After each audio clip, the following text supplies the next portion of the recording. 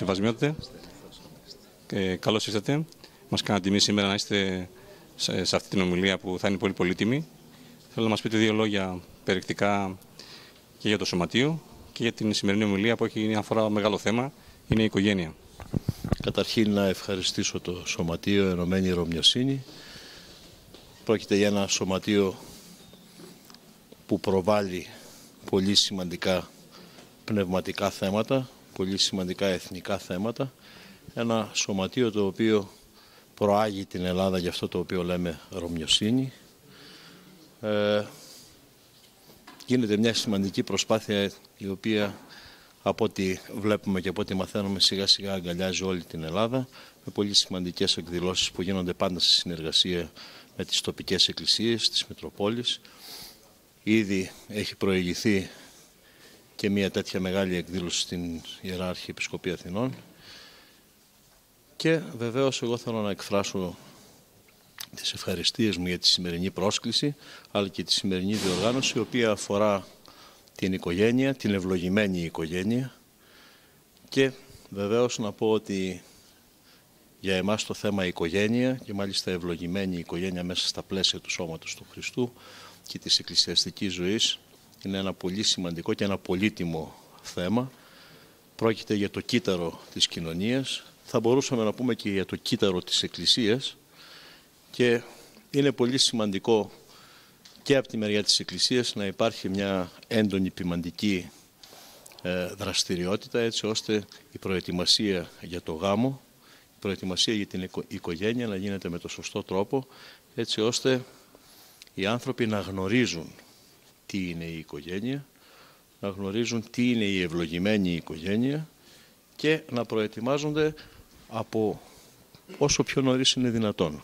Μας ενδιαφέρει η οικογένεια να μην είναι ένα κοσμικό γεγονός απλά, αλλά είναι μια πνευματική διεργασία που γίνεται μέσα στα πλαίσια της πνευματικής κατάρτισης και της πνευματικής ενηλικίωσης του ανθρώπου. Θεωρούμε ότι ο γάμος είναι ένα μεγάλο μυστήριο, διότι είναι η συναρμογή δύο ανθρώπων, ανδρός και γυναικός, με έναν τέτοιο τρόπο ώστε ο ένας να βοηθά τον άλλο σε μια ασκητική του προσώπου που την ακολουθούν από κοινού άνδρας και γυναίκα, να βρουν το δρόμο τους και μάλιστα να βρουν το δρόμο τους προς την οικείωση, προς το να κάνουν δική τους την χάρη, τη δύναμη και την ενέργεια του Θεού για να έχουν μια κοινή προκοπή και μια κοινή προοπτική η οποία θα δημιουργεί τις δυνατόν καλύτερες προϋποθέσεις για το κοινωνικό σύνολο και το κοινωνικό γίγνεσθε. Γι' αυτό λοιπόν ευχαριστώ πολύ για την ευκαιρία που μου δίνει η Ενωμένη Ρωμιοσύνη μέσα στις πολλές δραστηριότητες και δράσεις που έχει. Πήρε και την πρωτοβουλία να έχει αυτή την ημερίδα με θέμα τον γάμο, τον ευλογημένο γάμο και θεωρώ ότι και αυτό θα συμβάλλει πολύ και εδώ στα Ιωάννινα έτσι ώστε να ενημερωθούν πολλοί φίλοι, πολλοί αδελφοί, πολλοί συνάνθρωποι μας για τις θέσεις της Εκκλησίας για το γάμο αλλά και για τον ευρύτερο γενικότερο προβληματισμό που αφορά τις σχέσεις των ανθρώπων και τις σχέσεις μέσα στην οικογένεια. Σας ευχαριστούμε πάρα πολύ. Χριστός Ανέστη και πάλι. Χριστός Ανέστη.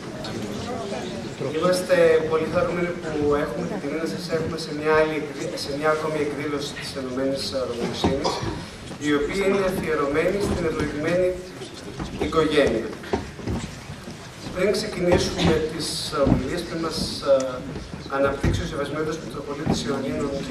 Μάξιμος, την ομιλία του με θέμα προετοιμασία για έναν ευλογημένο γάμο, παρακαλώ τον υπεύθυνο νεότητας της Ηνωμένη Ρωμιοσύνη, Γιάννενα, τον Τάσο του Τσούρνο, να μας πει κάποιες πληροφορίες για την Ηνωμένη Ρωμιοσύνη.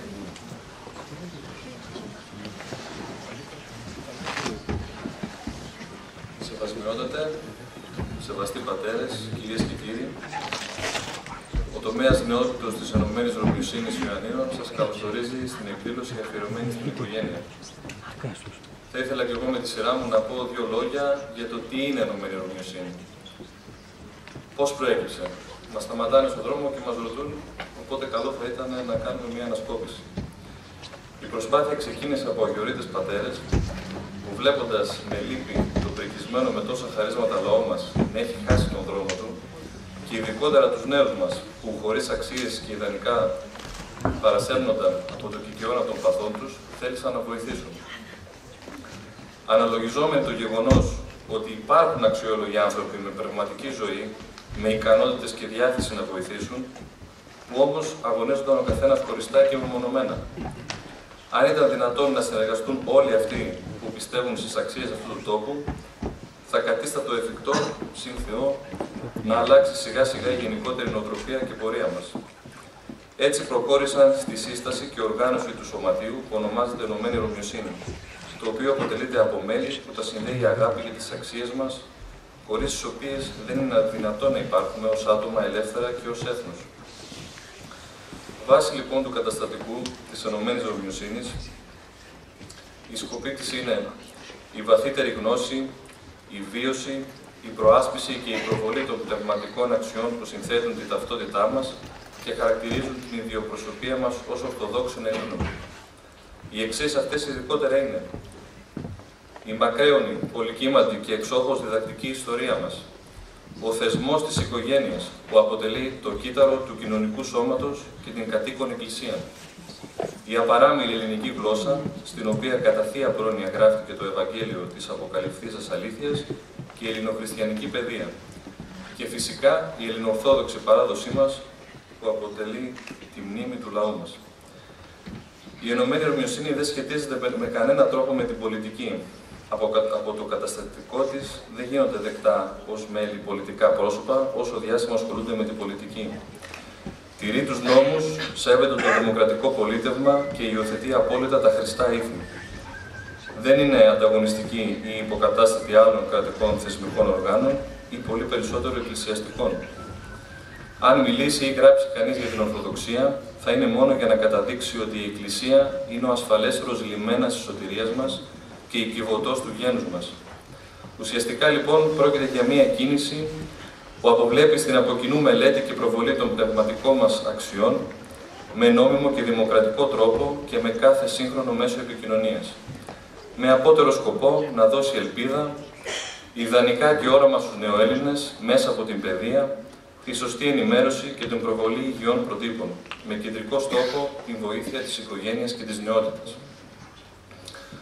Στο Σωματείο δίνεται να προσφέρουν ανιδιοτελώς ως φίλοι συνεργαζόμενοι τις υπηρεσίες τους και πρόσωπα ικανά και κατάλληλα, τα οποία δεν ανήκουν μέσα αυτό, αλλά αισθενίζονται τους σκοπούς του. Τέλος, το Σωματείο εκδίδει το περιοδικό ΕΡΟ και το περιοδικό Ρωμιούς που απευθύνεται σε νέους ακριβώς για να προβάλλει όλα τα προαναφερθέντα και μπορεί όποιος θέλει να γίνει συνδρομητής με ένα πολύ μικρό ετήσιο αντίτιμο. Και επίσης έχουμε και τις ε, εκδόσεις μας, που άλλωστε και σήμερα η ομιλία είναι βάση του βιβλίου της νέας έκδοσης της Ενωμένης Ρωμιοσύνης, ε, το οποίο είναι μια πολύ ε, καλή σειρά. Αυτά ήθελα να σας πω. Ευχαριστώ πολύ.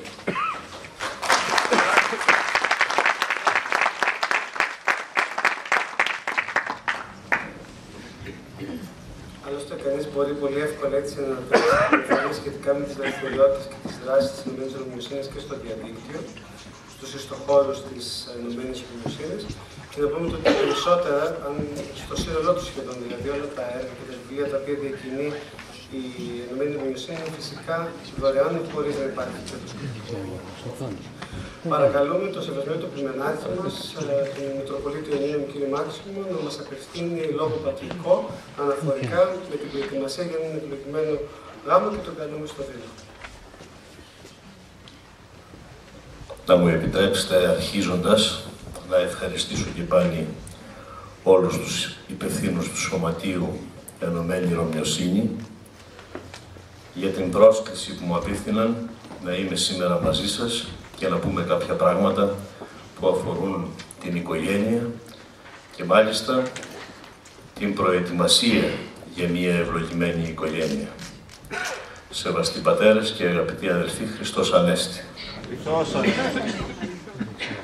Μέσα στο αναστάσιμο κλίμα που ζούμε, πρέπει να πούμε ότι σκεπτόμαστε για το θέμα οικογένεια, έχοντας πάντα κατά νου την μεγάλη πνευματική οικογένεια, η οποία είναι η Εκκλησία μας, είναι το σώμα του Χριστού. Και κατανοούμε το θέμα οικογένεια, εμείς οι Ορθόδοξοι Χριστιανοί και οι Ορθόδοξοι Πινέλες, πάντοτε σε σχέση και σε συνάφεια με αυτήν την μεγάλη οικογένεια των μελών του σώματος του Ιησού Χριστού. Προετοιμασία για την οικογένεια. Βεβαίως, κάθε άνθρωπος έχει στο νου του το κοινωνικό πρότυπο, το αρχαίο, θα λέγαμε, κοινωνικό πρότυπο της δημιουργίας οικογένειας. Άλλωστε, η συζυγία του ανδρός προς την γυναίκα και της γυναίκας προς τον άντρα, θα λέγαμε ότι έχουν μία συνάφεια με τις απαρχές του ανθρωπίνου γένους και με την φύση του ανθρωπίνου γένους. Ο ίδιος ο Θεός, βλέποντας τον Αδάμ μετά από την εξουσία που του έδωσε για την ονοματοδοσία των ζώων, είπε και διεπίστωσε ότι δεν βρέθηκε κανένα από τα ζώα που να είναι ικανό να αποτελέσει σύντροφο, τον σωστό σύντροφο για τον Αδάμ. Αποφάσισε λοιπόν ο Θεός να δώσει σύντροφο μέσα από την ίδια την φύση του Αδάμ και έτσι δημιούργησε από την πλευρά του Αδάμ τη γυναίκα, αυτή η οποία αποδίδεται και με τον όρο ανδρής, έτσι ώστε να βρει ένα ικανό συμπλήρωμα και έναν ικανό συνοδοιπόρο ο άνθρωπος στον αγώνα που θα έκανε από το καθομίος, από το κατοικόνα να φτάσει να περιοθεί στο καθομείο. Βλέπουμε ότι σε αυτήν την παραδείσια κατάσταση έχουμε όλη εκείνη την απαραίτητη ερμηνεία που χρειαζόμαστε για το τι είναι ευλογημένη οικογένεια. Ευλογημένη οικογένεια είναι εκείνη η οικογένεια η οποία ζει μέσα στο φως και την ενέργεια και την χάρη της Αγίας Τριάδος, μπορεί να οικειώνεται, να κάνει δηλαδή δική της αυτή την ενέργεια της Αγίας Τριάδος, έτσι ώστε τα πρόσωπα που συναπαρτίζουν την οικογένεια να μπορούν να αλλοιώνονται από αυτή την επίδραση της χάριτος, να εξελίσσονται, να ενηλικιώνονται πνευματικά και να προχωρούν σε μία αίσια έκβαση από το κατοικώνα στο καθομοίωση. Δηλαδή, στην έκφανση των θεϊκών ιδιωμάτων με τα οποία καταρτίζεται το κατοικώνα του ανθρώπου, έτσι ώστε αυτά να εμφαίνονται ως πράξη και ως ζωή στην καθημερινή τους βιωτή. Τι θα πει αυτό; Θα πει ότι όταν ο Θεός φτιάχνει τον άνθρωπο, εμφυτεύει σε αυτόν τις δικές του ιδιότητες. Κάνει τον άνθρωπο ελεύθερο, κάνει τον άνθρωπο δυνατό έτσι ώστε να μπορεί να γίνεται συνδημιουργός μαζί με τον δημιουργό, δίνει τον, στον άνθρωπο κράτος δύναμη έτσι ώστε να μπορεί να υπερισχύει επάνω στη φύση αλλά με έναν τρόπο ευλογημένο ακτινοβολώντας στην δημιουργία αυτή την Θεία Χάρη την οποία λαμβάνει από την Αγία Τριάδα. Δίνει στον άνθρωπο την δυνατότητα να είναι κοινωνία προσώπων να ζει σε σχέση και όχι σε σχάση, σε σχίσμα. Και επίσης δίνεις στον άνθρωπο τη δυνατότητα να είναι δημιουργικός αλλά και ταυτόχρονα να κατέχει κάτι θεϊκό. Το μόνο θεϊκό πράγμα που μπορεί να κατέχει ο άνθρωπος που είναι αυτή η άκτιστη ενέργεια της Αγίας Τριάδος. Αποτέλεσμα αυτής της σύστασης του ανθρωπίνου προσώπου, της ύπαρξης των θεϊκών ιδιωμάτων, αλλά και αυτής της ενέργειας που κάνει τον άνθρωπο ολόφωτο, γεμάτο από την θεϊκή ενέργεια που την ακτινοβολεί στο περιβάλλον του, Αποτέλεσμα λοιπόν αυτών των πραγμάτων είναι ο άνθρωπος να ζει σε αρμονία με τον Θεό, σε αρμονία με τον εαυτό του, σε αρμονία με τον άλλο άνθρωπο, σε αρμονία με όλη τη δημιουργία και όλο το περιβάλλον. Γι' αυτό, όταν ερωτάται ο Αδάμ πώς θα ονομάσει τη σύντροφό του, δίνει το όνομα λέγοντας ότι αυτό το κάνει διότι αυτή η γυναίκα, αυτός ο άνθρωπος, αυτό το όν που βρίσκεται δίπλα, αυτό το πρόσωπο που βρίσκεται δίπλα του, είναι σάρκα από τη σάρκα του και οστόν από τα οστά του.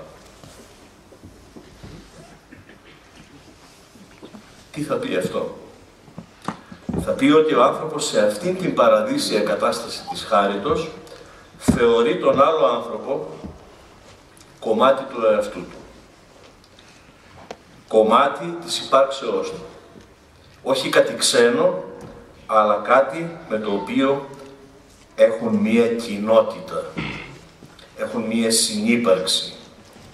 Έχουμε λοιπόν μέθεξη Θεού, δηλαδή έχουμε κάτι κοινό με τον Θεό που είναι η θεϊκή ενέργεια και αποτέλεσμα αυτής της μεθέξεως του Θεού είναι αυτή η απόλυτη ένωση και ταύτος, ταύτιση των δύο ανθρωπίνων προσώπων, του ανδρός και της γυναίκας. Τι γίνεται μετά την πτώση. Φεύγει αυτή η θεϊκή ενέργεια, αποκόπτεται η ροή της ενεργείας στον άνθρωπο και αυτό έχει αποτέλεσμα σε κάθε σχέση του ανθρώπου. Δημιουργείται πρόβλημα στη σχέση με τον Θεό, δημιουργείται πρόβλημα στη σχέση με τον εαυτό του, δημιουργείται πρόβλημα στη σχέση με τον άλλο άνθρωπο, δημιουργείται πρόβλημα στη σχέση με το περιβάλλον. Διότι ο άνθρωπος πάβει να ακτινοβολεί αφού δεν δέχεται πλέον, πάβει να ακτινοβολεί την άκτιστη ενέργεια του Θεού στο περιβάλλον του και τη δημιουργία. Και έτσι αυτή η πνευματική οικογένεια που έχει καταρτιστεί ανάμεσα στον Θεό και τον άνθρωπο και ανάμεσα στους ανθρώπους αλλά και με το περιβάλλον σπάει. Γίνεται διαχωρισμός. Θα λέγαμε γίνεται διαζύγιο με μια σημερινή ορολογία. Και οι επιπτώσεις είναι τραγικές. Οι επιπτώσεις είναι τραγικές και για τα ίδια τα πρόσωπα και για την σχέση των προσώπων και για την σχέση με το περιβάλλον. Έτσι λοιπόν, όταν ερωτάται ο Αδάμ για την ανυπακοή, ρίχνει την ευθύνη σε έναν άλλο άνθρωπο που πλέον ήδη τον θεωρεί ξένο. Όταν φεύγει ο άνθρωπος από τον παράδεισο έχει νιώσει ήδη την ενοχή και την τροπή για τη γύμνια του, γιατί, γιατί έχει απεκδηθεί αυτό το φως, το θεϊκό φως με το οποίο ήταν ενδεδειμένος και δεν ακτινοβολεί πλέον αυτό το φως στο περιβάλλον του, αλλά έχει αποκτήσει ήδη και μία σχέση αντιπαλότητας με αυτό το περιβάλλον. Και αυτό εκφράζεται στην Αγία Γραφή με το ότι ο άνθρωπος ενδύεται τους δερματίνους χιτώνες,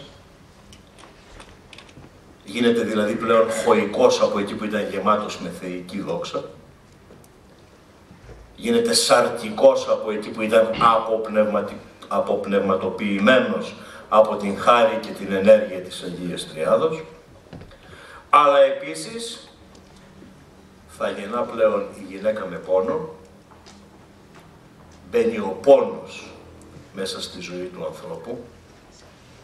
Και επίσης ενώ θα κοπιάζει να φάει με τον υδρότα του προσώπου του το ψωμί του, η γη, το περιβάλλον δεν θα ανταποκρίνεται αλλά θα γίνεται ανταγωνιστική και θα εκφύει ακάνθας και τριβόρος. Έχουμε λοιπόν εδώ αυτόν τον διαχωρισμό και αυτό το σχίσμα. Και έχουμε όλη αυτή την αγωνία του ανθρώπου, τον θρήνο, τον αδαμιαίο, όλη αυτή την αγωνία που εκφράζει την απώλεια της χάριτος, την απώλεια της κοινωνίας με τον Θεό και την απώλεια της κοινωνίας και της αρμονίας, της συμβίωσης με το περιβάλλον, δηλαδή με τα άλλα πρόσωπα και με τα πράγματα. Άρα λοιπόν αυτή η πρώτη παραδείσια οικογένεια, η οποία είναι το πρότυπο, διαλύεται. Για να περάσουν πολλά χρόνια, πολλοί αιώνες, πολλές χιλιετηρίδες και να έρθει το πλήρωμα του χρόνου, να δημιουργηθούν οι κατάλληλες συνθήκες προπαιδείας του ανθρωπίνου γένους για να μπορέσει να ξανασχηματιστεί αυτή η οικογένεια και μάλιστα με πρωτοβουλία του Ιδίου του Θεού, με τρόπο που να μην αποκλείει και παραβλάπτει την ελευθερία του ανθρωπίνου προσώπου και με τρόπο που να αποκαθιστά το ανθρώπινο γένος στην δυνατότητα να καταρτίζει και να απαρτίζει αυτήν τη νέα ευλογημένη οικογένεια. Γιατί λέμε όλη αυτή την ιστορία; Διότι τελικά θεωρούμε ότι η προετοιμασία για έναν ευλογημένο γάμο και μια ευλογημένη οικογένεια θα πρέπει να λαμβάνει υπόψη της ακριβώς αυτά τα πολύ σημαντικά ιστορικά και ποιοτικά χαρακτηριστικά του ανθρώπου και της συμβίωσης του ανθρώπου με τον Θεό και τον άλλο άνθρωπο αλλά και το περιβάλλον. Αυτό σημαίνει ότι για να μπορέσει ο άνθρωπος να δημιουργήσει μια ευλογημένη οικογένεια θα πρέπει να έχει όλη την πνευματική προπαιδεία που είναι αναγκαία για να μπορεί ο άνθρωπος να ζει σε αρμονία με τον Θεό και άρα ως αποτέλεσμα αυτής της συνύπαρξης, της συμβίωσης, της μέθεξης Θεού να μπορεί να δημιουργεί και τις σωστές σχέσεις με τον άλλο άνθρωπο. Και αν αυτό ισχύει για κάθε ανθρώπινη σχέση, ισχύει πολύ περισσότερο για τη συνάφεια ανδρός και γυναικός. Επαναλαμβάνω, αν αυτή η αναγκαιότητα ισχύει για οποιαδήποτε ανθρώπινη σχέση, ισχύει ακόμα περισσότερο, θεμελιωδώς θα λέγαμε, και τη συνάφεια και τη συμβίωση ανδρός και γυναικός. Εδώ λοιπόν έρχεται να λάβει υπόσταση και νόημα αυτό το οποίο λέει ο Απόστολος Παύλος, ότι δηλαδή το μυστήριο τούτο, το μυστήριο της οικογενείας, το μυστήριο του γάμου, μέγα εστί εις Χριστόν και εις την Εκκλησία. Βλέπετε, δεν λέει απλώς το μυστήριο αυτό του γάμου και της συνάφειας ανδρός και γυναικός. Είναι μέγα, απλώς, είναι ένα μεγάλο μυστήριο, αλλά το εντάσσει μέσα στο βίωμα του σώματος του Χριστού σε αυτό το οποίο ονομάζουμε Εκκλησία. Άρα λοιπόν φρονούμε ότι το θέμα της οικογενείας είναι σαφώς στην πνευματική του και ολοκληρωμένη του διάσταση θέμα της Εκκλησίας. Είναι ζήτημα της δικής μας θεολογίας, της χριστιανικής ανθρωπολογίας, είναι ζήτημα της δικής μας ποιμαντικής μέρημνας και δράσης και ευθύνης, είναι ζήτημα το οποίο θα πρέπει ιστοδιειναικές να μας απασχολεί. Υπάρχουν πολλές διαπιστώσεις ότι το θέμα της οικογενείας, το θέμα του γάμου έχει παρεκκλίνει γενικώς και ζούμε διάφορες απόψεις, ακούμε διάφορες απόψεις περί οικογενείας, περί γάμου, περί συμβιώσεως κτλ. Όμως, όλες αυτές οι απόψεις είναι πολύ μακριά από την δική μας θεολογική άποψη και εμπειρία περί συμβιώσεως, περί οικογενείας και περί γάμου. Διότι για εμάς ο γάμος δεν είναι απλώς μία κοινωνική εκδήλωση ή μία κοινωνική υποχρέωση. δεν είναι μια κοινωνική σύμβαση έτσι όπως έχουμε συνηθίσει να την θεωρούμε, όπως είπα στην αρχή της ομιλίας. Αλλά είναι ένα γεγονός ενταγμένο στην πνευματική μας ζωή και σε αυτό το οποίο συνολικά ονομάζουμε ασκητική του προσώπου.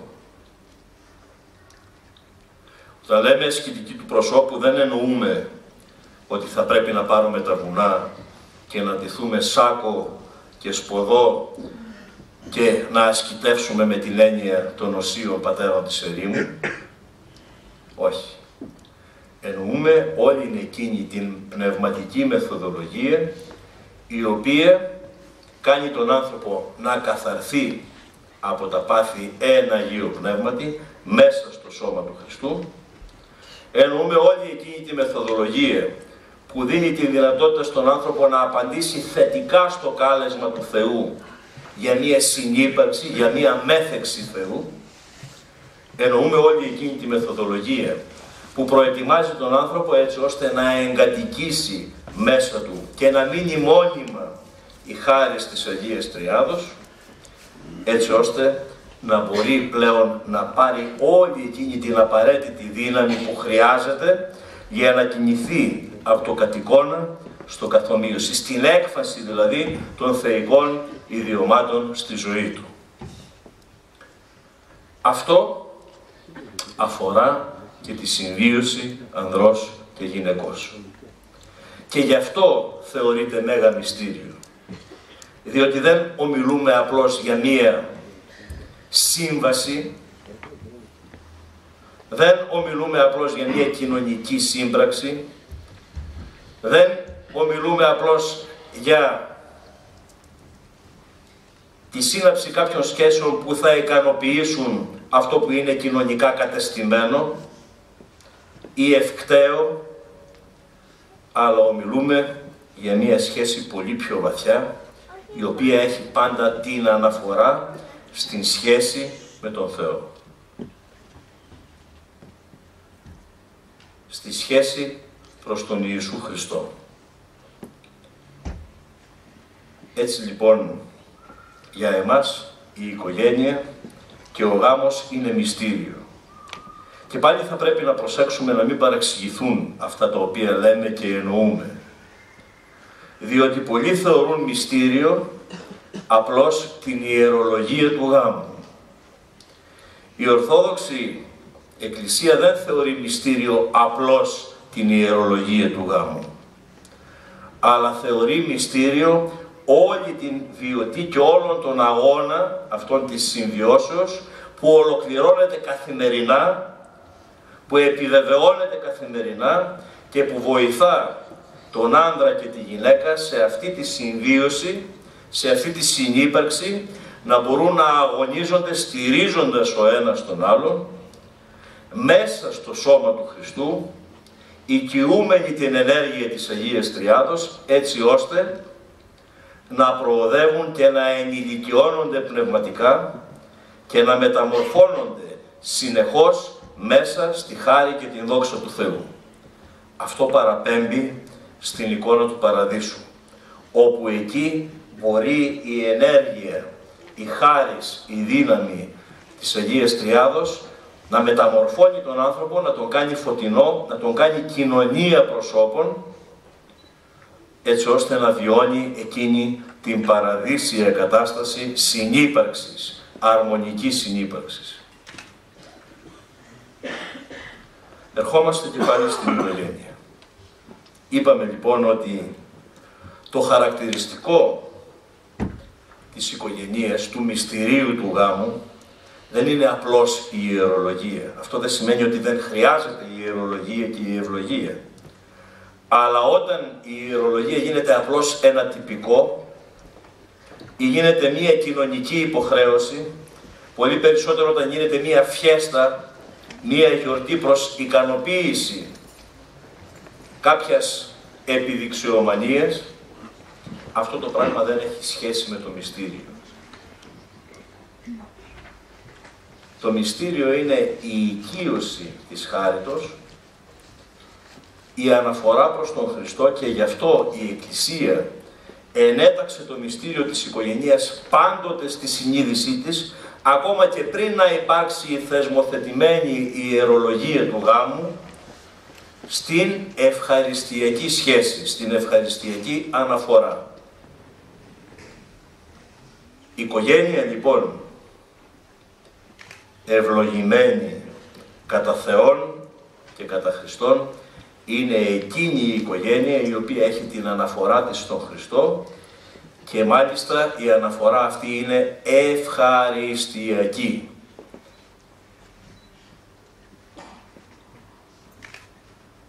Και για να πάμε και σε κάτι πιο χειροπιαστό και σε κάτι που το αισθανόμαστε και το συναισθανόμαστε. Δέστε πόση διαφορά στην εξωτερική έκφραση της αγάπης και της σχέσης ανδρός και γυναικός, αλλά και των τέκνων που προκύπτουν από αυτή τη σχέση, υπάρχει σε ένα ζευγάρι το οποίο ζει με οποιαδήποτε άλλη μορφή συμβίωσης και πόση διαφορά υπάρχει σε ένα ζευγάρι το οποίο προσέρχεται με τα παιδιά του στην αγκαλιά να κοινωνήσει σώμα και αίμα Χριστού. Έχοντας κάνει την προετοιμασία την πνευματική,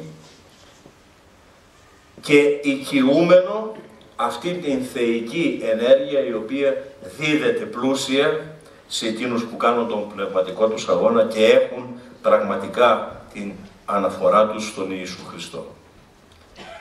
Είναι τεράστια η διαφορά.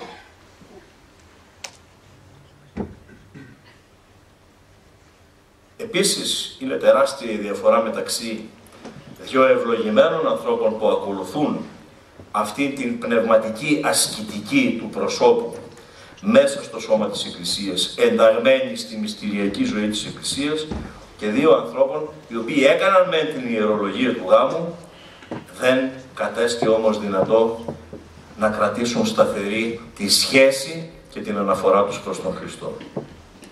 Και εδώ προκύπτουν όλα τα ατυχήματα που ζούμε στη σύγχρονη κοινωνία με τα διαζύγια να φτάνουν στην καλύτερη περίπτωση το 30% των ιερολογημένων γάμων και στη χειρότερη περίπτωση ακόμα και το 50% σύμφωνα με τις στατιστικές που έχουμε από τις Ιερές Μητροπόλεις και την Ιερά Σύνοδο της Εκκλησίας της Ελλάδος.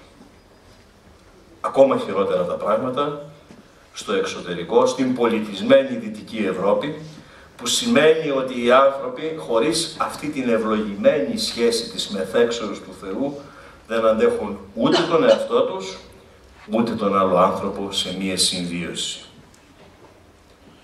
Έτσι μεταφράζεται το σπάσιμο της σχέσης.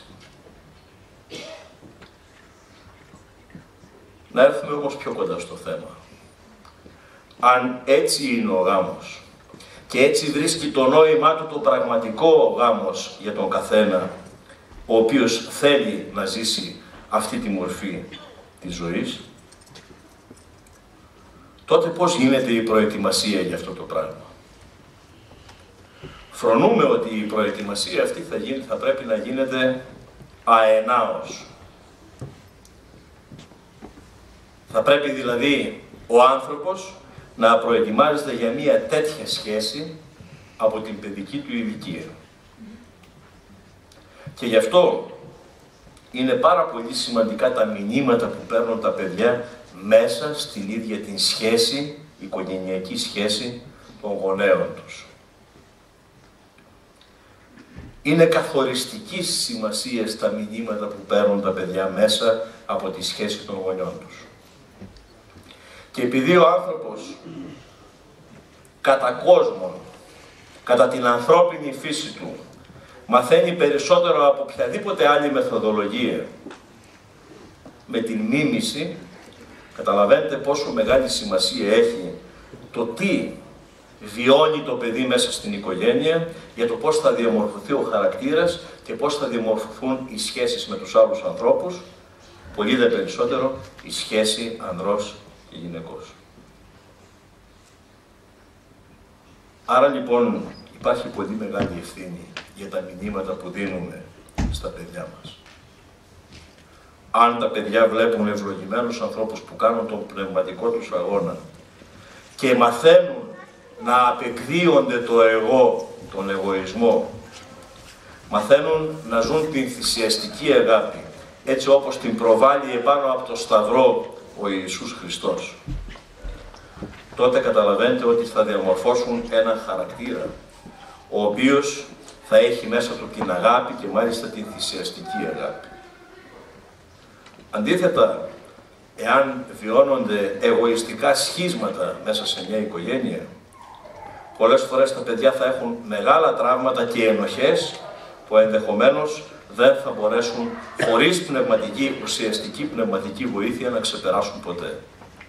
Οπότε, ακριβώς αυτά τα πρότυπα που θα τους πληγώνουν στην παιδική ηλικία, θα φτάσουν να είναι πρότυπα τα οποία θα τα ακολουθούν ακουσίως κυρίως, πηγαία και στο υπόλοιπο της ζωής τους.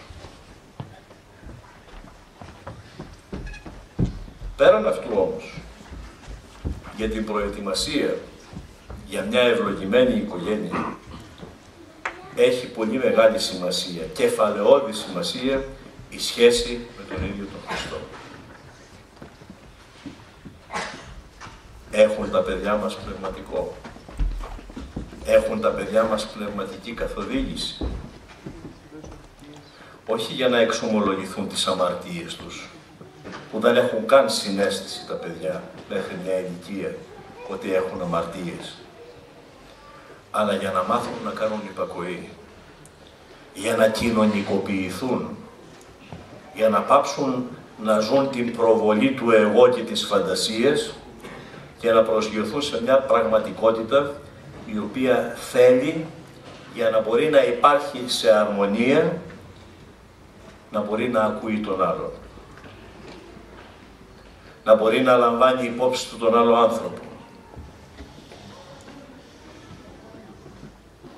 Βλέπετε τα μυστήρια και ό,τι κάνει η Εκκλησία μας έχουν πολλαπλό χαρακτήρα. Λαμβάνουν υπόψη τον όλο άνθρωπο, ολόκληρη την ψυχοσωματική ύπαρξη του ανθρώπου. Και ο άνθρωπος μέσα από τη μυστηριακή ζωή και μέσα από τη λατρεία δεν παίρνει απλώς την Θεία Χάρη, αλλά παιδαγωγείται με πολύ συγκεκριμένους και πρακτικούς τρόπους. Παιδαγωγούνται λοιπόν οι άνθρωποι σήμερα στο να ακούν τον άλλο άνθρωπο και να μαθαίνουν να κάνουν υπακοή. Να θυσιάζουν το εγώ το ίδιο θέλημα έτσι ώστε να μπορούν να το κάνουν αυτό και στο στενό περίγυρο της οικογένειας και μάλιστα της δικής τους οικογένειας όπου ή θα επικρατήσει η κυρίαρχη τάση εγώ εκεί είμαι αφεντικό και κάνω κουμάντο ή θα επικρατήσει η πνευματική προσέγγιση που λέει ότι εγώ πρέπει να θυσιαστώ για την προκοπή της οικογένειας. Και μάλιστα την, την προκοπή, όχι την ηλική, αλλά την προκοπή την γενική, την ευρύτερη, με πρώτη την πνευματική. Την πνευματική ενηλικίωση, όπως λέμε. Πέραν αυτού, θα πρέπει να πούμε ότι ολόκληρη η ασκητική μεθοδολογία της Εκκλησίας μας μπορούμε να πούμε πως είναι πραγματικά μία προετοιμασία για την οικογένεια. Διότι μαθαίνει ο άνθρωπος να εντάσσεται σε ένα ευρύτερο σύνολο προσώπων και μαθαίνει να κατακτά τον αυτοσεβασμό και μέσα από την προσέγγιση των σχέσεων με τα άλλα πρόσωπα. Και εδώ έρχεται να μας απασχολήσει και το πρόβλημα των οικογενειών, των σημερινών οικογενειών και των επιλογών τους. Πολλές οικογένειες αρνούνται να κάνουν παιδιά. Πολλά ζευγάρια δεν θέλουν να κάνουν παιδιά. Πολλά ζευγάρια θέλουν να κάνουν μόνο ένα παιδί. Αλλά με αυτή την επιλογή στερούν τη δυνατότητα της κοινωνικοποίησης από τον ίδιο τους τον εαυτό και στερούν επίσης τη δυνατότητα της κοινωνικοποίησης από τα ίδια τους τα παιδιά. Και νομίζοντας ότι θα προσφέρουν στα παιδιά περισσότερα αγαθά, μεγαλύτερη οικονομική και ηλική άνεση, στην ουσία στερούν τα παιδιά από αυτό που θα τα διαμορφώσει ως ανθρώπινα πρόσωπα, δηλαδή ως κοινωνία προσώπων. Και αυτό είναι μια τραγωδία της σημερινής κοινωνίας και μια αστοχία της σημερινής οικογενείας και των μονοπατιών που ακολουθεί που είναι πολύ μακριά από την πνευματική προσέγγιση της Ορθοδοξίας.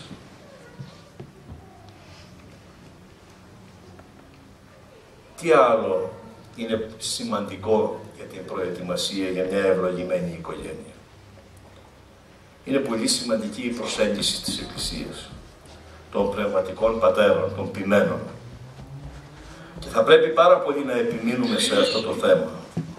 Διότι μέσα στην εκοσμίκευση που έχει γίνει γενικότερα και μέσα στην εμπορευματοποίηση που έχει επισυμβεί γενικότερα, μέσα στην τάση να γινόμαστε όλο και πιο καταναλωτικοί, με μεγάλες δόσεις επιδειξιομανίες,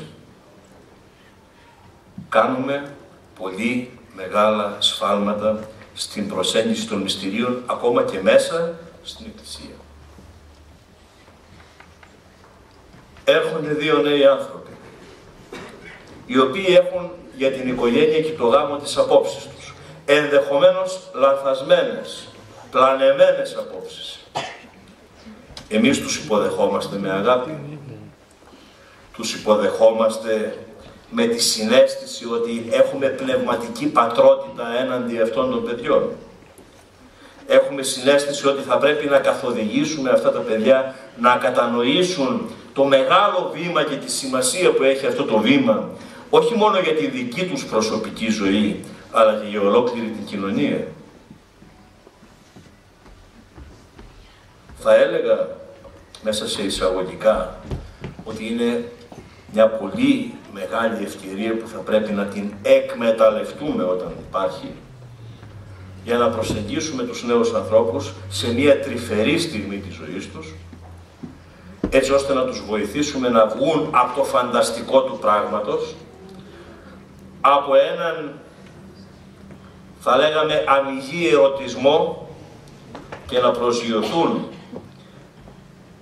σε μία ενιολόγηση του γάμου και της, και της οικογενείας που θα τους βοηθήσει να είναι χαρούμενοι και ευτυχισμένοι σε όλο το υπόλοιπο της ζωής τους για αυτή την επιλογή. Διαφορετικά γνωρίζουμε όλοι από την εμπειρία μας ότι όπως όλες οι φαντασιώσεις και αυτή η φαντασίωση περνά πολύ γρήγορα και αυτός ο ερωτισμός περνά πολύ γρήγορα και μετά ερχόμαστε να αντιμετωπίσουμε την ομή πραγματικότητα όπου άνθρωποι χωρίς την απαραίτητη πνευματική καλλιέργεια πρέπει να σηκώσουν βάρη τα οποία δεν έχουν εκπαιδευτεί να τα σηκώνουν. Πρέπει λοιπόν να βοηθήσουμε τα παιδιά μας να κατανοήσουν το μεγαλείο της οικογενείας, την σημασία της οικογενείας, τη σημασία του μυστηρίου του γάμου, που θα πρέπει όπως είπαμε να είναι πάντοτε συνδεδεμένο με την σχέση με τον Χριστό και με την ευχαριστία. Και εδώ έρχεται το άλλο θέμα που αφορά την κατοίκον εκκλησία. Πολύ σημαντικό κεφάλαιο. Η κατοίκον εκκλησία δεν είναι μία άλλη εκκλησία, είναι αυτή η μία Αγία Καθολική και Αποστολική Εκκλησία του Ιησού Χριστού. Τη λέμε όμως κατοίκον εκκλησία διότι το μυστήριο αυτής της καθολικής εκκλησίας, της καθόλου εκκλησίας, βρίσκει την εφαρμογή του μέσα στα μέλη της οικογενείας. Τα οποία δεν είναι άτομα και ήθελα να παρακαλέσω να προσέχουμε εμείς οι Ορθόδοξοι όταν εκφραζόμαστε για τους ανθρώπους να μην χρησιμοποιούμε τη λέξη άτομα η οποία είναι δυτικόφερτη. Για εμάς υπάρχουν πρόσωπα. Επανέρχομαι λοιπόν και λέω ότι αυτή η προσέγγιση θα πρέπει να βοηθήσει ώστε να έχουν συνέστηση οι άνθρωποι ότι είναι πρόσωπα και είναι σχέση προσώπων. σχέση εικόνων του Θεού που κάνουν τον αγώνα τους έτσι ώστε να μπορέσουν να ανταποκριθούν και σε αυτή τη σχέση αλλά και στην ευρύτερη αποστολή που είναι το να φέρουν το φως του Χριστού, το φως της Αγίας Τριάδος στον κόσμο.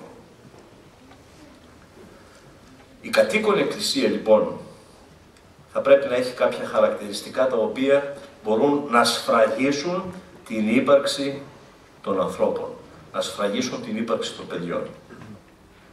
Είναι πολύ σημαντικά μηνύματα αυτές οι μικρές παραδοσιακές τελετουργίες οι οποίες γίνονται στα πλαίσια της οικογένειας και δένουν την οικογένεια. Προσέχουμε αυτές τις λεπτομέρειες. Προσέχουμε για παράδειγμα να τρώμε κάποιες φορές όλοι μαζί στο σπίτι. Μπορεί να το θεωρούμε αμεληταίο μέσα στην εκοσμίκευση που μας ταλανίζει, όμως είναι πάρα πάρα πάρα πολύ σημαντικό. Φροντίζουμε να σταυρώσουμε το ψωμί, φροντίζουμε να πούμε μια προσευχή μαζί με τα παιδιά, με τη γυναίκα μας, με το σύζυγό μας.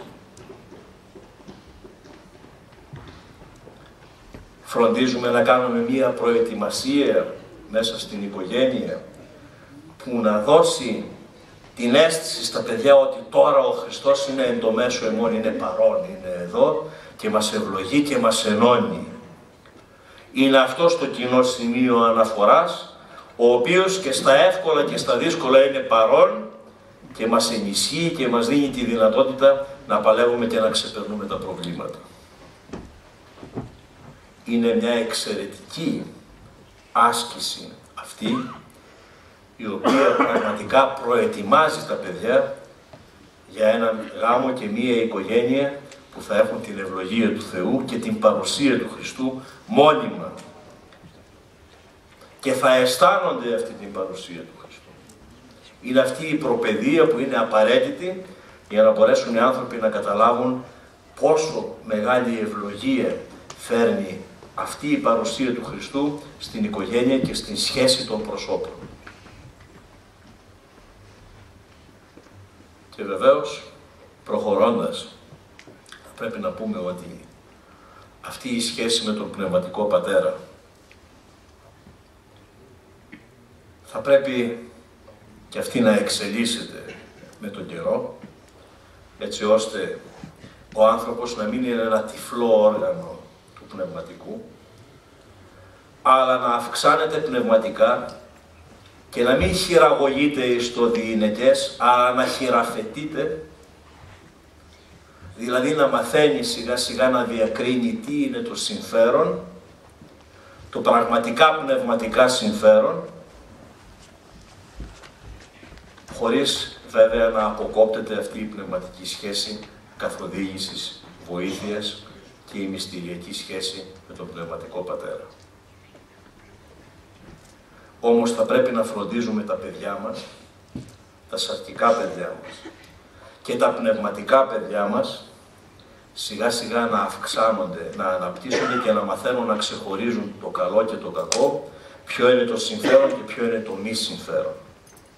Να ενηλικιώνονται πνευματικά και να μην μένουν σε μια ενυπιώδη ηλικία η οποία μετά έχει πολύ άσχημες επιδράσεις στη σχέση με τα άλλα πρόσωπα. Διότι ο άνθρωπος ο οποίος δεν είναι ελεύθερος και καταπιέζεται, κατά κανόνα θα εφαρμόσει αυτή την καταπίεση που αισθάνεται και στα άλλα πρόσωπα. Είναι νόμος αυτό το πράγμα. Και οι ψυχολόγοι το λένε το σύνδρομο του ποδηλάτη, δηλαδή κάποιος σκύβει και ταυτόχρονα πατάει για να προχωρήσει. Και αυτό θα πρέπει να το προσέξουμε πάρα πολύ στην διαπαιδαγώγηση των παιδιών μας, εάν θέλουμε να μην έχουν σύνδρομα που θα αποκλίνουν από μια ευλογημένη οικογένεια. Που θα τα αποτρέπουν από μια ευλογημένη και αρμονική οικογένεια. Και τελειώνοντας, θα ήθελα να πω ότι όλοι οι ασκητικοί του προσώπου,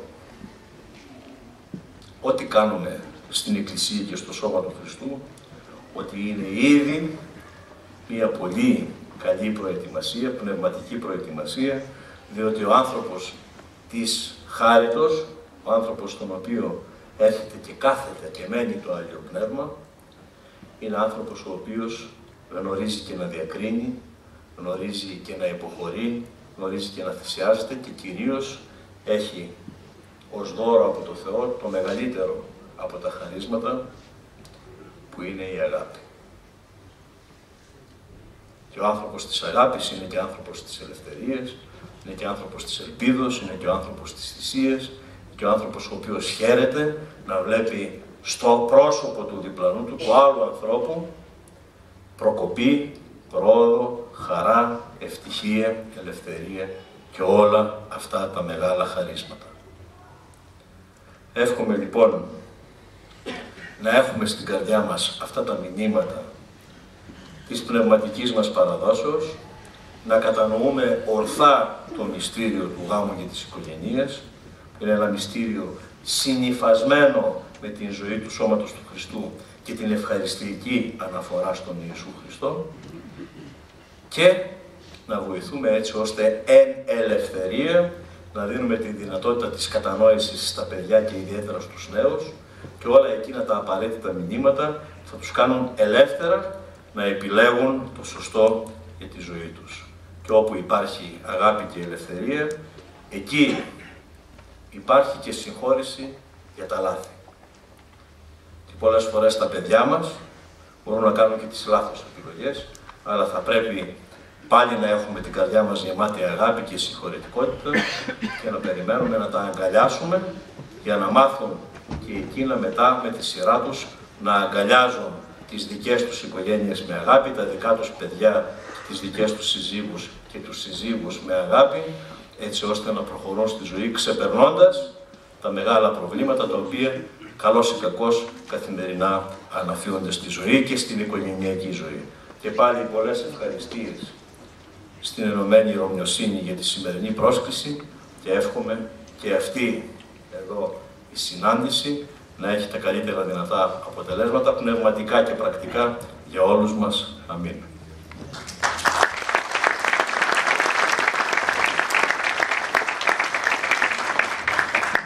Ευχαριστούμε πολύ τον Πιμενάρχη μας για τις δογματικές αυτές αλήθειες της Ορθόδοξης Εκκλησίας, οι οποίες είναι απαραίτητες από τη ζωή μας.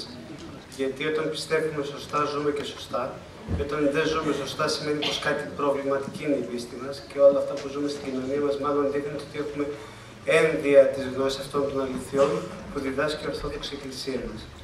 Παρακαλούμε στο βήμα την επόμενη ομιλήτρια, η οποία έχει ζήσει την οικογένεια με ένα δύσκολο μετερίζιο που λέγεται υπερπολίτικη οικογένεια. Παρακαλούμε την φιλόλογο, την κυρία Βασιλική Καλλιτέρη, να μας αναπτύξει το θέμα της, το οποίο είναι οικογένεια από τη γη στον ουρανό. Εγώ βέβαια να σας πω, μετά το λόγο, το γεμάτο στοργή και πατρικότητα του σεβασμιωτάτου, θα προσπαθήσω να ψελίσω. Πολλής λόγος γίνεται τον τελευταίο καιρό για την οικονομική κρίση που ζούμε. Τη θεωρούμε οι Έλληνες σαν την πιο μεγάλη συμφορά που μας βρήκε και επηρέασε κάθε σπίτι τα μάτια μας είναι στραμμένα μόνο στο πορτοφόλι που αδειάζει πριν τελειώσει ο μήνας ή που δεν έχει τίποτα για μερικούς. Μας ξεφεύγει ότι η πιο μεγάλη συμφορά που μας δέρνει είναι ο εννιάχρονος που καπνίζει, ο, δωδε... ο δεκάχρονος με τη σύριγγα στο χέρι, η εννιάχρονη που γίνεται προϊόν εκμετάλλευσης, και ο 14χρονος που πήρε πάνω του δύο-τρεις ληστείες και δύο φόνους. Είναι ακόμη η 15χρονη που έχει στο ιστορικό της 5-6 εφήμερες σχέσεις και δύο-τρεις εκτρώσεις. Είναι το κοριτσάκι που ζει και περιμένει τους γονείς του στο πέδον και ο έφηβος που στο παραλήρημά του, στο αστυνομικό τμήμα, ζητάει τη μάνα του και αυτή δεν φαίνεται πουθενά. Και τούτο αν δεν είναι μεγάλο κακό. Σε χωριό του νομού μας, γυρίζοντας ο 22χρονος από το στρατό, βρίσκει τους γονείς του χωρισμένους μετά από 30 χρόνια γάμου και μένει φυτό από το σοκ που υπέστη. Μια λέλαπα άγρια μένεται γύρω μας και θέλει να γκρεμίσει ό,τι Άγιο και Ιερό μας κληροδότησε η Ορθόδοξη ελληνική μας παράδοση. Γκρεμίστε στις καρδιές των Ελλήνων την ιστορία τους, τη θρησκεία, τη γλώσσα και την οικογένεια και μετά μην τους φοβάστε, δεν θα λένε όχι σε ό,τι τους σερβίρουμε. Θα είναι σαν τα ξεδονικιασμένα λιοντάρια, έλεγε ο Κίσιγκερ τον προηγούμενο αιώνα. Και το σχέδιο φαίνεται εκ πρώτης όψεως ότι πέτυχε, αλλά ευτυχώς. Έμεινε μαγιά που λέει και ο Μακρυγιάννης, που μπορεί να αλλάξει την πορεία μας. Αφήσαμε τις πόρτες ανοιχτές στα ξενόφερτα ρεύματα και ένας αέρας αλαζονικός ράπησε προπαντός την υπόσταση της οικογένειας. Υπερήφανα επιλέξαμε και νομοθετήσαμε να βγει ο Χριστός από τα όρια του οίκου μας, από τα όρια της πατρίδας μας, από την επίγεια ζωή μας. Γάμπος, άνετα μπορεί και να μην υπάρχει, καλυμμένος και από τον νόμο. Η συζυγία, τραυματισμένη ή συμβατική, γεννά προβλήματα και στους δυο συζύγους και περισσότερο στα παιδιά. Ο ψυχικός τους κόσμος χρωματίζεται καθοριστικά και η ψυχική τους ισορροπία χρειάζεται στήριγμα δυνατό. Κι ό,τι της υποκρισίας του άφρονα ανθρώπου του 21ου αιώνα που πονά και διαμαρτύρεται για τα αδέσποτα σκυλιά και τις αρκούδες που χτυπά κάποια ρόδα και όχι για τα χίλια και πλέον αγέννητα παιδιά που κομματιάζονται κάθε μέρα στην Ελλάδα από τον πολιτισμένο και πολύ ξερό άνθρωπο και πετιούνται στους ιατρικούς κάδους απορριμμάτων. Στους απαράκλητους καιρούς που ζούμε, δεν ωφελεί να κλαίμε στα ερήπια των αδικοχαμένων σπιτιών, αλλά να στραφούμε με πίστη και ελπίδα στη χαριτωμένη ζωή της οικογένειας. Οι ρίζες της χάνονται στο απότατο παρελθόν. Είναι η πρώτη και μικρότερη μορφή κοινωνικής συμβίωσης ανθρώπων, ένας ολόκληρος κόσμος σε μικρογραφία. Η οικογένεια έγινε φυτόριο που καλλιεργήθηκαν και βλάστησαν τα ωραιότερα ιδανικά. Η παγκόσμια λογοτεχνία, αλλά και τα συναξάρια προπαντός της Ορθόδοξης Εκκλησίας αφιέρωσαν τις ωραιότερες σελίδες στην οικογενειακή ζωή.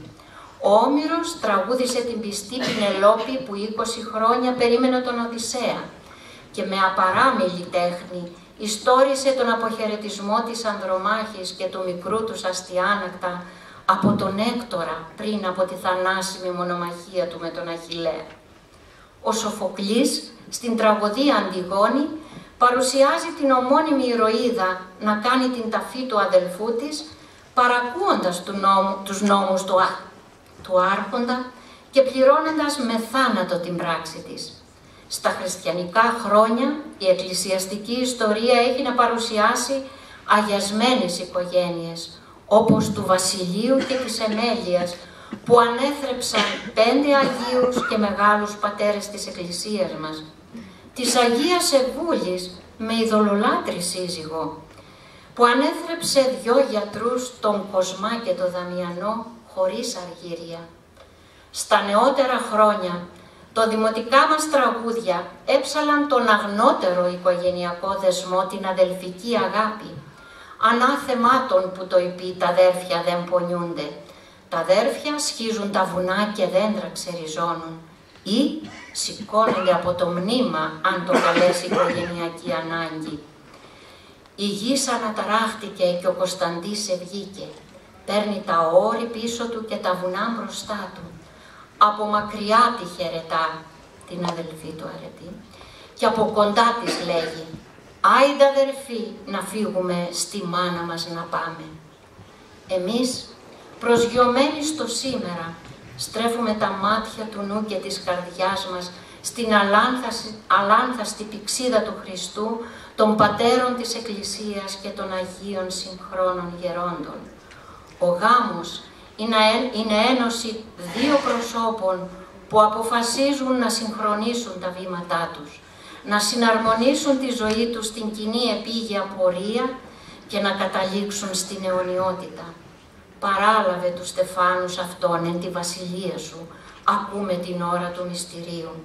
Ο ένας για τον άλλον από τότε είναι μια παρουσία, μια έναη ζωντανή πραγματικότητα με τη βαθιά και πηγαία αγάπη. Η αληθινή αγάπη είναι αποκλειστική, καμωμένη να προσφερθεί σε ένα πρόσωπο μέσα στο μυστήριο που είναι μέγα και έχει αιώνια διάσταση.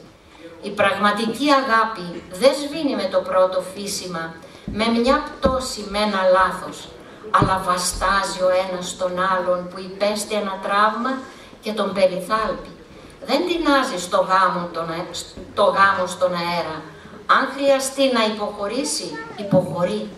Εκείνος που αγαπά κοιμάται τελευταίος και σηκώνεται πρώτος. Τους γονείς του άλλου τους βλέπει σαν δικούς του γονείς. Η μεγαλοσύνη της αγάπης και της επιοίκειας του ενός για τον άλλο κάνει το γάμο ποθητό λιμάνι στις μεγάλες χαρές, αλλά και στις απροσδόκητες να παντρευόμουν, εσένα θα έπαιρνα.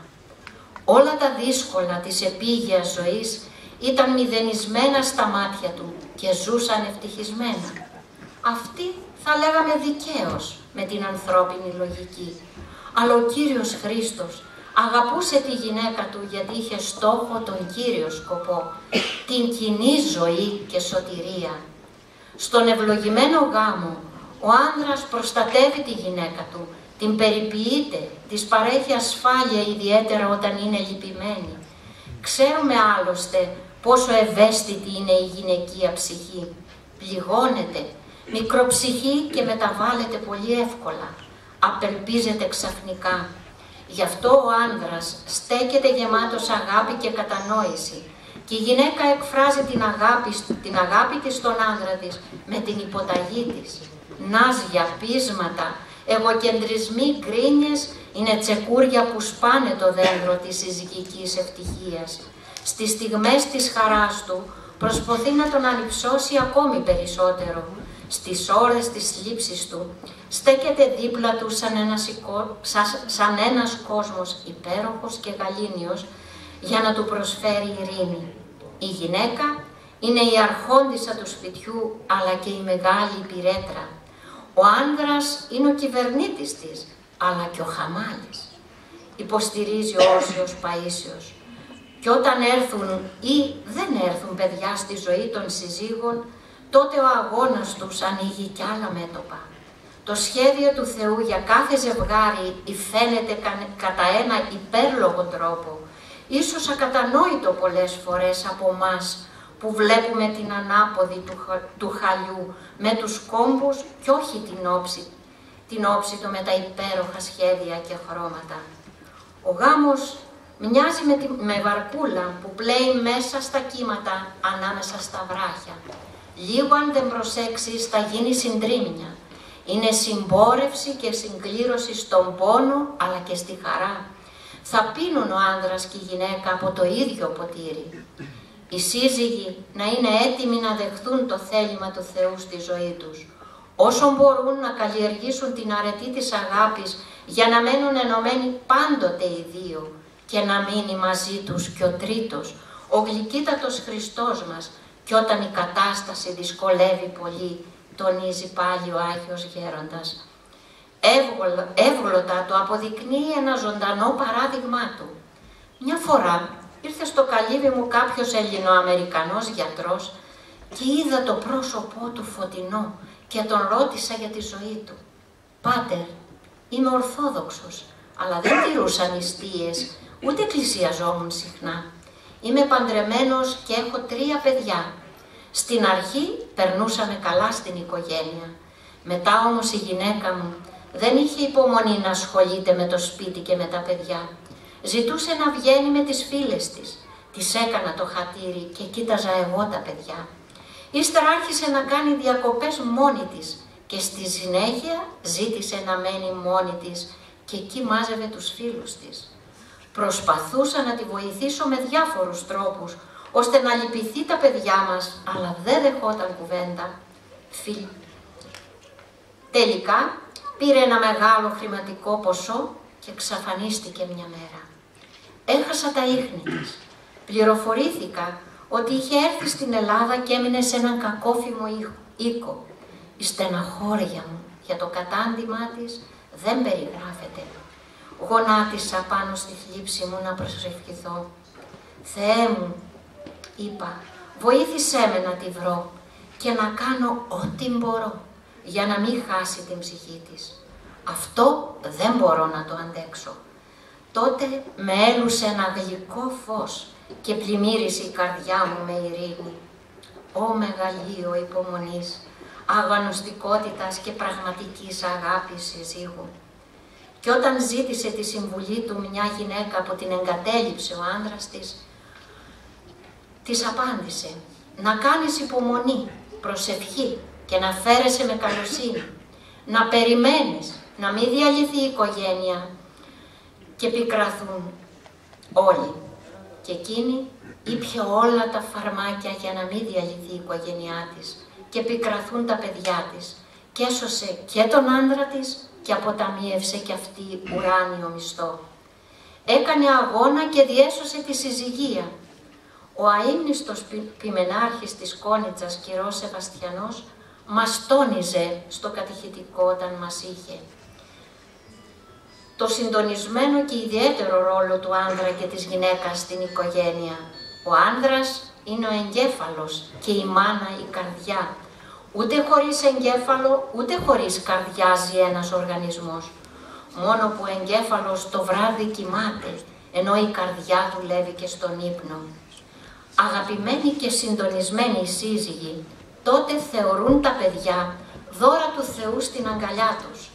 Όταν είναι μικρά, πολύ μικρά, στην προσχολική ηλικία, έχουν στα χέρια τους την ψυχή τους καθαρή από τις επιρροές του έξω κόσμου και ευκολόπλαστα σαν το αγνό κερί. Και εκεί αποτυπώνουν το υπέροχο ή το αποτρόπαιο, την κόλαση ή τον παράδεισο. Και τα παιδιά αντιγράφουν μικρά όλα όσα βλέπουν, όσα ακούν και προπαντός όσα ζουν. Πατέρας και μάνα ζωγραφίζουν στην άγραφη πλάκα της ψυχής τους το Θεό και τα πλάσματά Του. Αυτά δεν σβήνουν ποτέ από μέσα τους. Πριν η τηλεόραση μπει στη ζωή μας, στο Παρίσι, χάθηκε ένα πεντάχρονο κοριτσάκι. Η αστυνομία το βρήκε, αλλά το παιδί είχε υποστεί τόσο ισχυρό σοκ και δεν μπορούσε να δώσει καμιά πληροφορία. Οι αρχές βρέθηκαν σαν διέξοδο. Ο εισαγγελέας τότε, έξυπνα, του ζήτησε να τραγουδήσει κάτι και εκείνο άμεσα τραγούδισε τον ανούρισμα που του έλεγε η μάνα του πριν από τον ύπνο. Οι αρχές το μαγνητοφώνησαν και το μετέδωσαν από το ραδιόφωνο. Σε λίγη ώρα βρέθηκαν οι γονείς. Το μυαλό του βλέπουμε απενεργοποιήθηκε εκείνη που τα πάντα σώζει είναι η καρδιά. Ο Άγιος Πορφύριος, συγκεφαλαιώνοντας με λίγα λόγια το μυστικό που φτιάχνει καλά παιδιά, μας λέει «Εκείνο που σώζει και φτιάχνει καλά παιδιά είναι η ζωή των γονέων μέσα στο σπίτι. Να γίνουν Άγιοι κοντά στα παιδιά τους, με την πραότητά τους, την υπομονή τους και την αγάπη τους. Δεν τα σώζουν, ούτε οι συμβουλές, ούτε τα πολλά λόγια, ούτε η πειθαρχία και, και η αυστηρότητα. Αν δεν αγωνίζονται μέσα τους να κάνουν, θα κάνουν μεγάλα λάθη και ο διάβολος τους ταλαιπωρεί με τις αντιδράσεις των παιδιών. Η αγάπη, η ομοψυχία, η καλή συνεννόηση των γονέων είναι ό,τι πρέπει για τα παιδιά. Μεγάλη ασφάλεια και σιγουριά Ούτε μια φορά δεν πρέπει να σας ακούσουν τα παιδιά σας να τσακώνεστε ή έστω να υψώνετε τον τόνο της φωνής σας ο ένας στον άλλον. Ό,τι δίνουν οι γονείς με την καρδιά τους ποτέ δεν πάει χαμένο. Μπορεί αργότερα να χαθούν σολοσκότεινες νύχτες.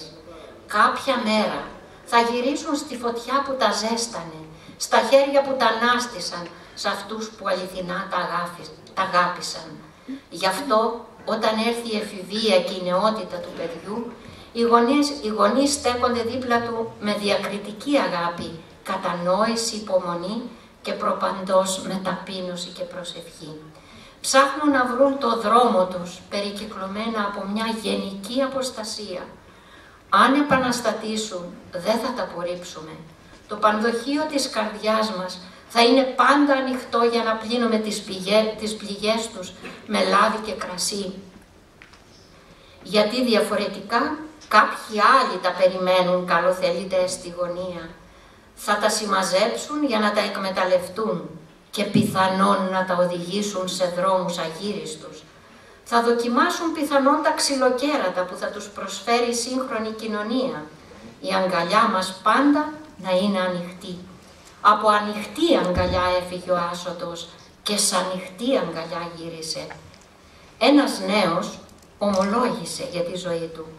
Όλα στη ζωή μου τα απέρριψα, τα δοκίμασα όλα και έχω απογοητευτεί από τα σχολεία, τα πτυχία, τα χρήματα, από τη ζωή της νύχτας, από την πολιτική, από ανθρώπους της Εκκλησίας. Ένας λόγος με κράτησε στη ζωή και δεν έβαλα τέρμα, η μάνα μου. Σήκωνε όλη τη διάρκεια της άτακτης νεότητός μου, αμήλυτη το βάρος μου. Έφευγα στις 11 το βράδυ και την άφηνα να προσεύχεται. Γύριζα στις 5 το πρωί και την έβρισκα πάλι γονατιστή. Έτσι θα σωθούν τα παιδιά μας αυτόν τον αλόφρονο κόσμο. Να μοιάσετε του Θεού, να γίνετε Άγιοι και τα παιδιά θα βρουν το δρόμο τους. Χρειάζεται λίγα λόγια και πολύ παράδειγμα. Όταν υπάρχει περηφάνεια στους γονείς, δεν γεννιούνται φωτισμένα γονιά, ε, παιδιά και τα προβλήματα πολύ βαριά. Για την κατάσταση των παιδιών φταίνε πολλές φορές οι γονείς, μας λένε οι πνευματικοί πατέρες.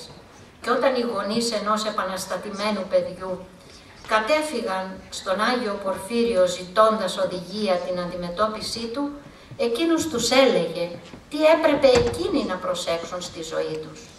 Οι γονείς εξανέστησαν τόση ώρα να μιλάει για μας, ενώ εμείς ήρθαμε να του ζητήσουμε συμβολή για το παιδί μας, εμείς γέροντα δεν ήρθαμε εδώ για τον εαυτό μας. Αυτά που μας λέτε τα ξέρουμε από μικρά παιδιά και τα διδάσκουμε. Για το παιδί μας ήρθαμε. Και ο γέροντας, μα δεν καταλαβαίνετε ότι για το παιδί σας μιλώ τόση ώρα. Όχι στη θεωρία μόνο, αλλά στην πράξη του, εξαγια... του εξαγιασμού. Αμέσως να αρχίσετε την εργασία αυτή μέσα σας, αν πραγματικά αγαπάτε το παιδί σας. Η λέξη Άγιος μας φαίνεται στο νόημά της πολύ μακρινή από μας.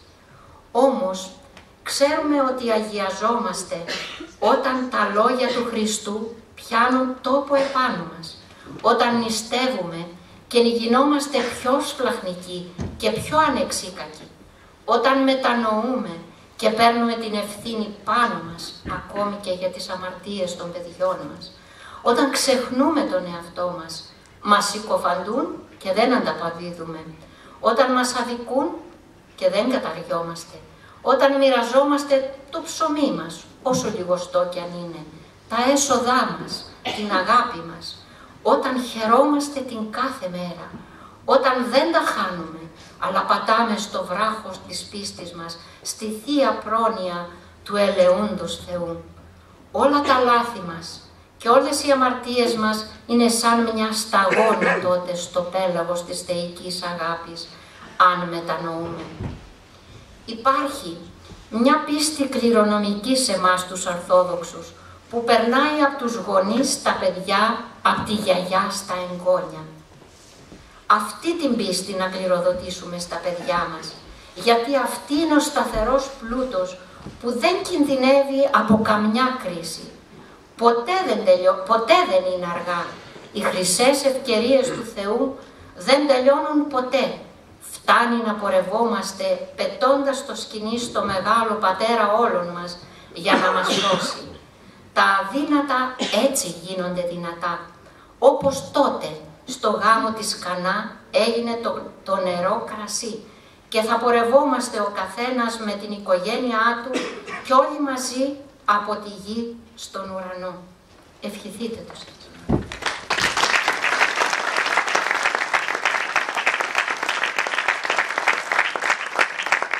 Ευχαριστούμε πολύ την κυρία Καλυγκέρη για τα όσα βιωματικά μας είπε και τα οποία αποδεικνύουν και το πώς η πίστη εφαρμόζεται στη ζωή μας και πραγματικά κάνει θαύματα.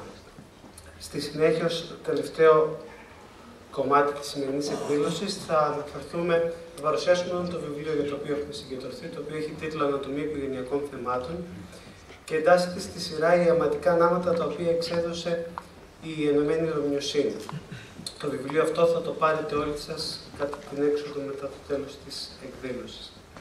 Στη δύσκολη και ταραγμένη εποχή μας, που όλα αμφισβητούνται και ανατρέπονται, το παρήγορο είναι ότι πλέον οι νέοι μας επιστρέφουν στις αξίες. Βρίσκουν την πίστη τους, επιστρέφουν στον οίκο του Θεού, στην Εκκλησία και προσπαθούν να οικοδομήσουν και το δικό τους οίκο, την οικογένεια, αυτήν τη μεγάλη, δοκιμασμένη και θεόζωτη πανανθρώπινη αξία. Ο μεγάλος πόθος και η επιδίωξη των σημερινών νέων είναι η δημιουργία οικογένειας. Παρά τις υπάρχουσες δυσκολίες από την ενεργεία, την εξέβρεση κατάλληλου συζύγου, τον πόλεμο και την υποτίμηση του οικογενειακού θεσμού από, τους ανθρώπου, από ανθρώπους που έπρεπε να τον υπερασπίζονται και να τον προβάλλουν, υπάρχει και μια άλλη μεγάλη δυσκολία.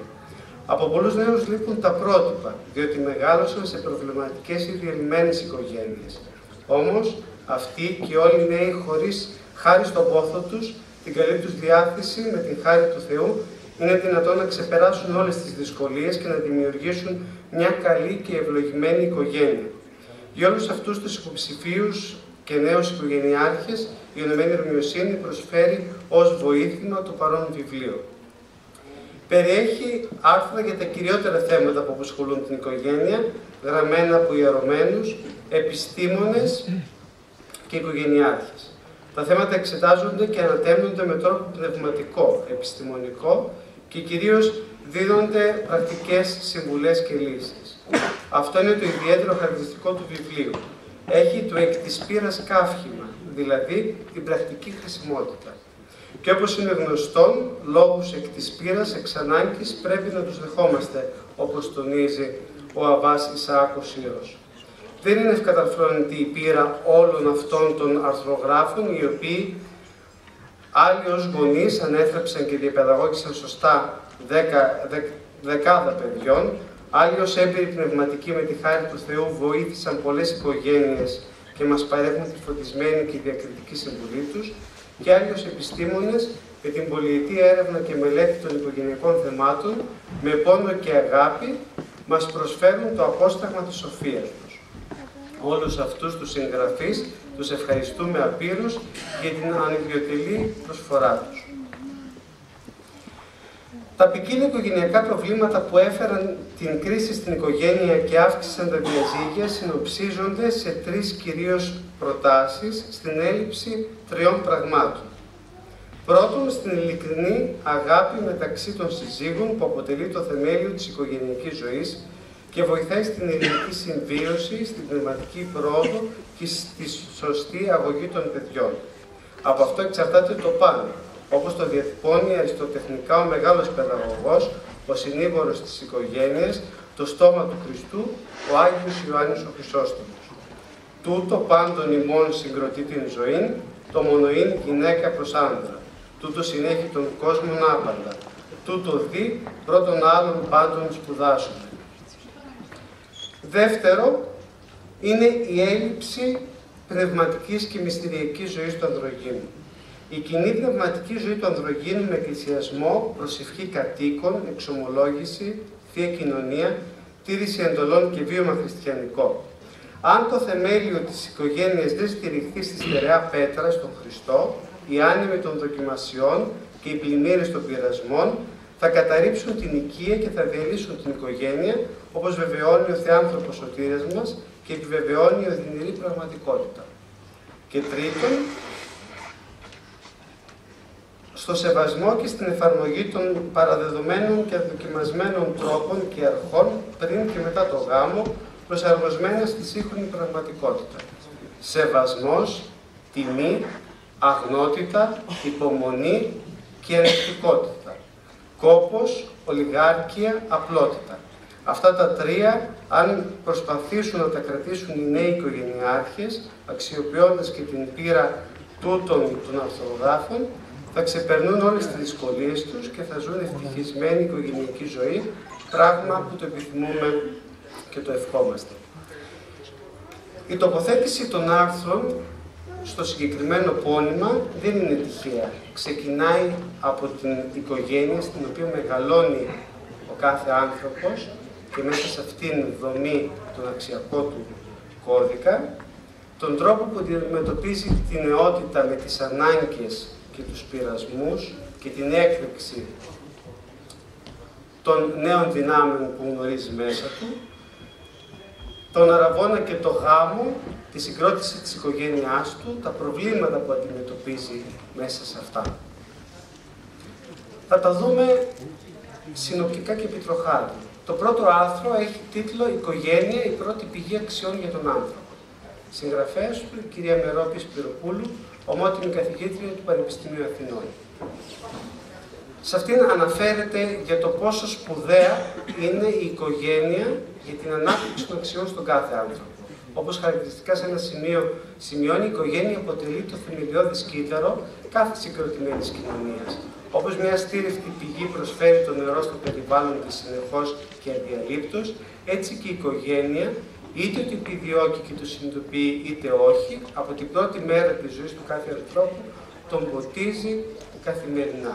Και αν το νερό που τον ποτίζει είναι καθαρό και κρυστάλλινο, τα αποτελέσματα είναι τέτοια. Αν δεν είναι, δυστυχώς τα αποτελέσματα δεν είναι αρνητικά.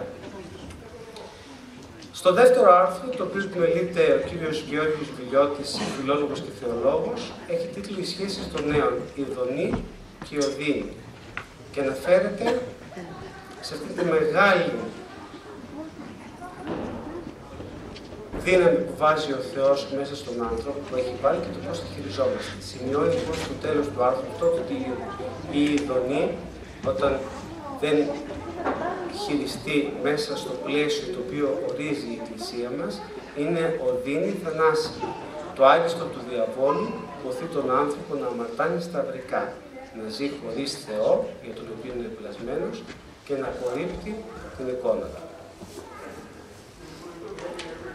Και αμέσως μετά γίνεται αναφορά για ένα κεφαλαιόδε ζήτημα το οποίο στις μέρες μας ίσως περνάει, έχει γίνει συνήθεια και δεν μας κάνει τόσο πολύ εντύπωση, αλλά είναι ουσιώδες στο πνευματικό αγώνα κάθε ανθρώπου. Είναι αυτό που ονομάζουμε τον τίτλο «Προγαμιαίες σχέσεις». Ο συγγραφέας του Δημήτρης Ακαψή, ο οποίος είναι δημοσιογράφος, χρησιμοποιεί μεταξύ των άλλων και κάποιες ρίσει του Οσίου Πατρός Παϊσίου του Αγιορείτου και του Οσίου Πορφυρίου του Καυσοκαλυβίτη, τις οποίες αναφέρουμε εδώ. Έλεγε ο Όσιος Παΐσιος, τη γενετήσια ορμή πρέπει να τη βάζουμε στο ψυγείο μέχρι το γάμο, να κάνουμε τίμιο αγώνα ενώπιον του Θεού για την αγάπη του Θεού. Και Όσιος Πορφύριος παρότρινε να μην λέτε στους νέους θεωρίες, αλλά να τους ομιλείτε να ζουν σε νέα ζωή, να μην ζουν με χαλαρότητα ηθών. Και τα αναλύει ο συγγραφέας του συγκεκριμένου κεφαλαίου αναλυτικά τις θέσεις αυτών των οσίων πατέρων. Αμέσως μετά αναφερόμαστε στην έκτρωση και τις ευρύτερες επιπτώσεις. Επιμέλεια του άρθρου ο γυναικολόγος Βασίλειος Μπέλιος. Σημειώνει λοιπόν ο γυναικολόγος ότι ας ελπίσουμε ότι ο λαός μας με τον καιρό θα συνειδητοποιήσει ότι η έκτρωση είναι λογιτασμένη επιλογή σε κάθε περίπτωση, θα μου επιτρέψετε να ότι είναι εγκληματική επιλογή, ότι η ανθρώπινη ζωή είναι άμεση προτεραιότητα και ότι η μητρότητα είναι θείο δώρο που δεν πρέπει καμία γυναίκα να στερηθεί. Μονογονεϊκή οικογένεια. Με τον όρο αυτό μπορούμε να ορίσουμε διάφορα πράγματα. Οι ελλείψεις και τα κενά και τα προβλήματα και οι δυσμενείς συνέπειες που προκαλούνται οφείλονται κυρίως στον τρόπο που σχηματίστηκε η μονογονεϊκή οικογένεια και μιλάμε για τις περιπτώσεις όχι ότι ο θάνατος έχει στερήσει τον γονέα από ένα παιδί, που και αυτό φυσικά είναι δυνηρό, αλλά κυρίως όταν αυτή η οικογένεια προέκυψε μέσα από εντάσεις, συγκρούσεις, διαζύγια, τεκλήσει και όλα αυτά που τα συνοδεύουν. Ο πατέρ Θεμιστοκλής Χριστοδούλου αναφέρεται και την ακολουθία του Αραβώνα, η οποία πλέον τελείται μαζί με το μυστήριο του γάμου και ποτέ ξεχωριστά. Αναφέρεται σε μια ρίση του Οσίου Παϊσίου, ο οποίος έλεγε ότι πρέπει κανείς την αραβωνιαστικιά του να τη βλέπει σαν αδελφή του και να είναι και οι δύο πολύ προσεκτικοί και να εγκρατεύονται. Να κάνουν τον αγώνα τους για τη χάρη του Θεού για να στεφανωθούν στο τέλος σαν φιλότιμοι αγωνιστές. Αυτό συμβολίζουν τα στέφανα της Εκκλησίας. Έτσι κανείς έχει βοηθό του τη Θεία Χάρη. Και μάλιστα παροτρύνει ο αραβώνας δεν είναι σύντομος, να μην τραβάει μακριά και όλο αυτό για να θωρακίσει και να προστατεύσει αυτούς που με αγώνα προσέρχονται στο Ιερό Μυστήριο του Γάμου. Για το οποίο στο ακριβώς επόμενο άρθρο μιλάει ο πατήρ Γεώργιος Μεταλλινός και αναφέρεται σε αυτό που εκτενώς ανέφερε ο Σεβασμιότητος στην ομιλία του για το πώς ένα γεγονός, η συνάφη μεταξύ άντρα και γυναίκας, γίνεται εκκλησιαστική και προβάλλεται μέσα στο σώμα του Χριστού και πλέον το ζευγάρι αυτό, όταν ενωθεί με το Ιερό Μυστήριο του Γάμου, αποτελεί ένα σώμα και μια ψυχή μέσα στην κοινωνία. Στο βιβλίο αυτό δεν λείπουν και αναφορές στο πώς ο θρησκευτικός γάμος, η ιερολογία του μυστηρίου και το μυστήριο γενικότερα ήταν ένας κεντρικός θεσμός για την κοινωνία μας, η οποία είχε, είχε διακοσμηθεί και με διάφορα έθιμα και με διάφορες εκδηλώσεις, γιατί ήταν κορυφαία εκδήλωση σε κάθε τοπική κοινωνία ο γάμος. Εκτός από, από την εκκλησιαστική κοινωνία, ήταν και ένα κοινωνικό γεγονός, έτσι με ιδιαίτερη λαμπρότητα.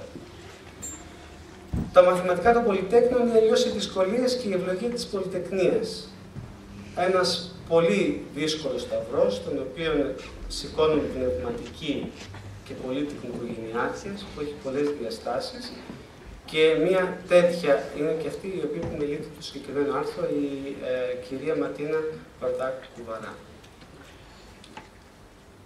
Μάνα στήριξη πηγής αγάπης μας ανέλησε νομίζω εκτενώς η κυρία Καλυτέρη το πώς η μάνα είναι πραγματικά η καρδιά της οικογένειας και πώς περιβάλλει με αγάπη όχι μόνο τα παιδιά της, το ΣΥ, όλη την οικογένεια.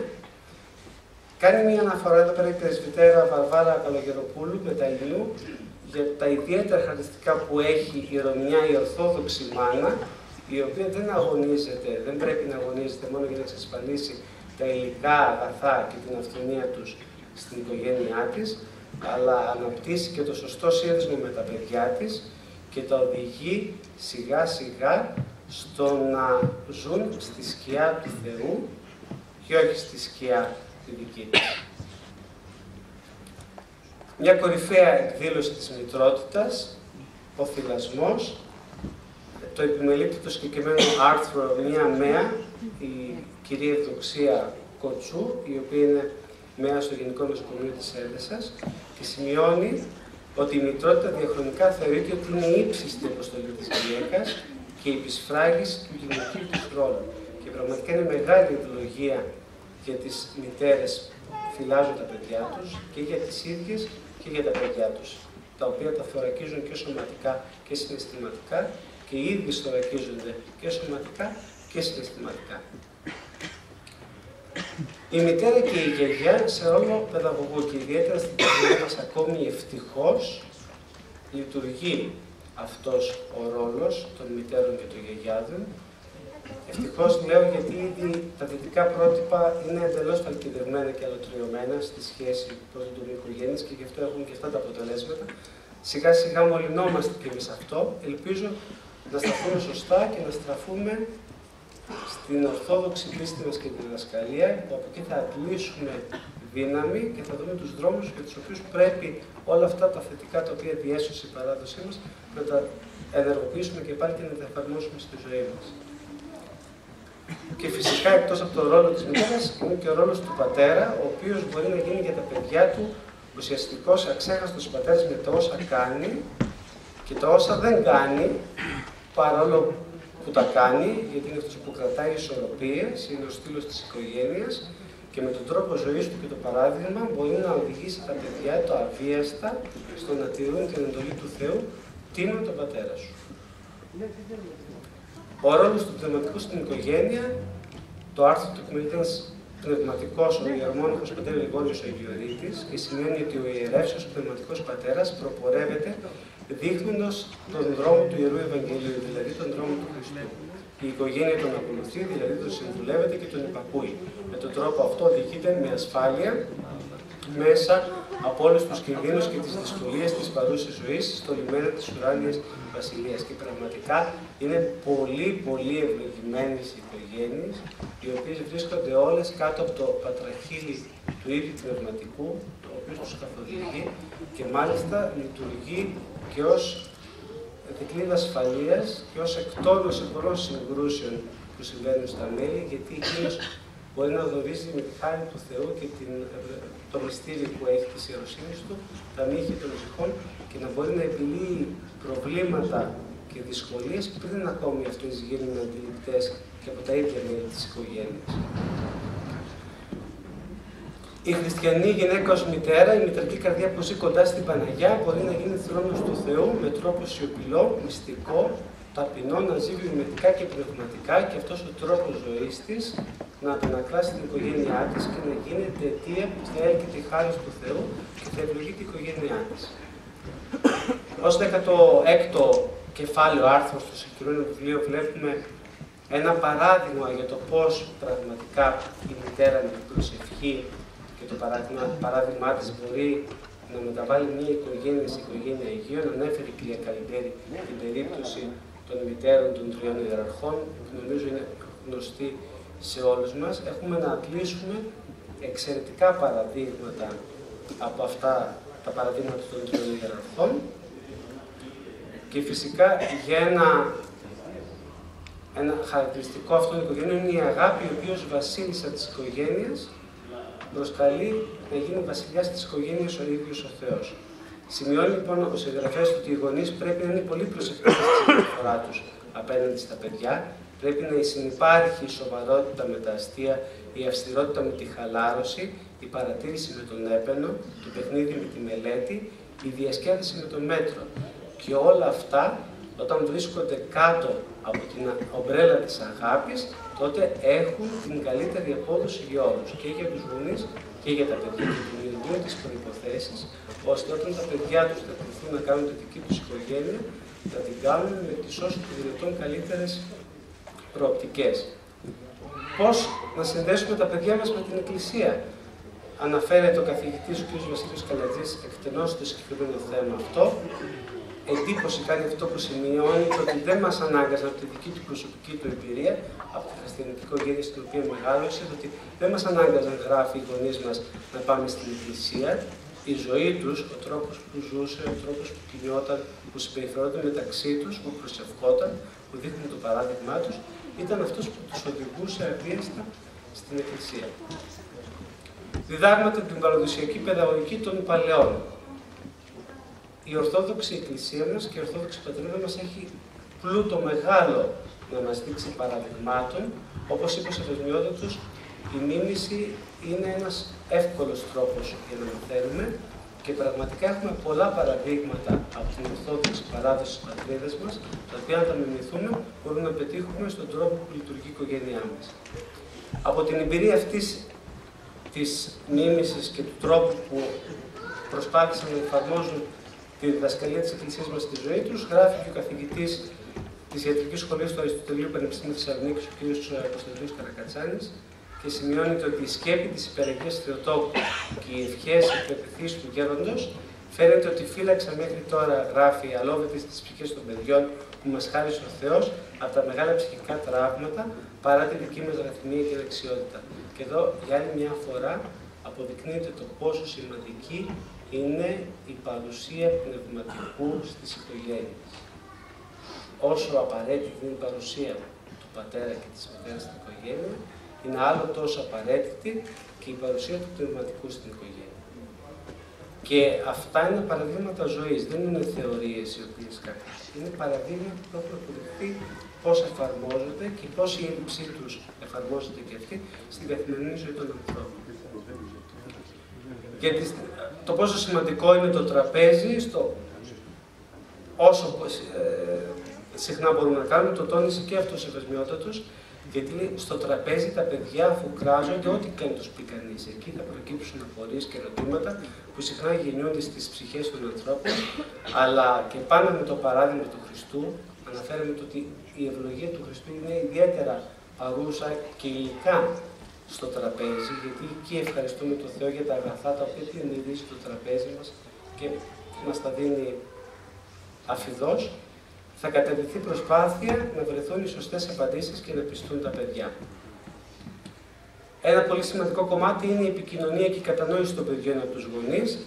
Σε αυτό αναφέρεται ο, ένας καθηγητής φυσικής, ε, φυσικής ο κ. Παναγιώτης Πυριάδης και σημειώνει ότι οι γονείς συμβάλλουν στην ανάγκη του παιδιού να γνωρίζει πώς θα διεξαγάγει τον πνευματικό του αγώνα με την κατανόηση, την επικοινωνία, την εκπαίδευση από την ημέρα που συλλαμβάνεται, κυοφορείται, γεννιέται και για αρκετά χρόνια πριν γεννηθεί ο άνθρωπος, με την έννοια ότι οι ίδιοι άνθρωποι που θα γίνουν, θα κληθούν να γίνουν γονείς κάποια στιγμή, πρέπει να προετοιμάζουν τον εαυτό τους πνευματικά, ώστε να έχουν τα κατάλληλα πνευματικά ερίσματα και να μπορέσουν να δώσουν αυτά τα παραδείγματα και στους απογόνους που θα του χαρίσει ο Θεό.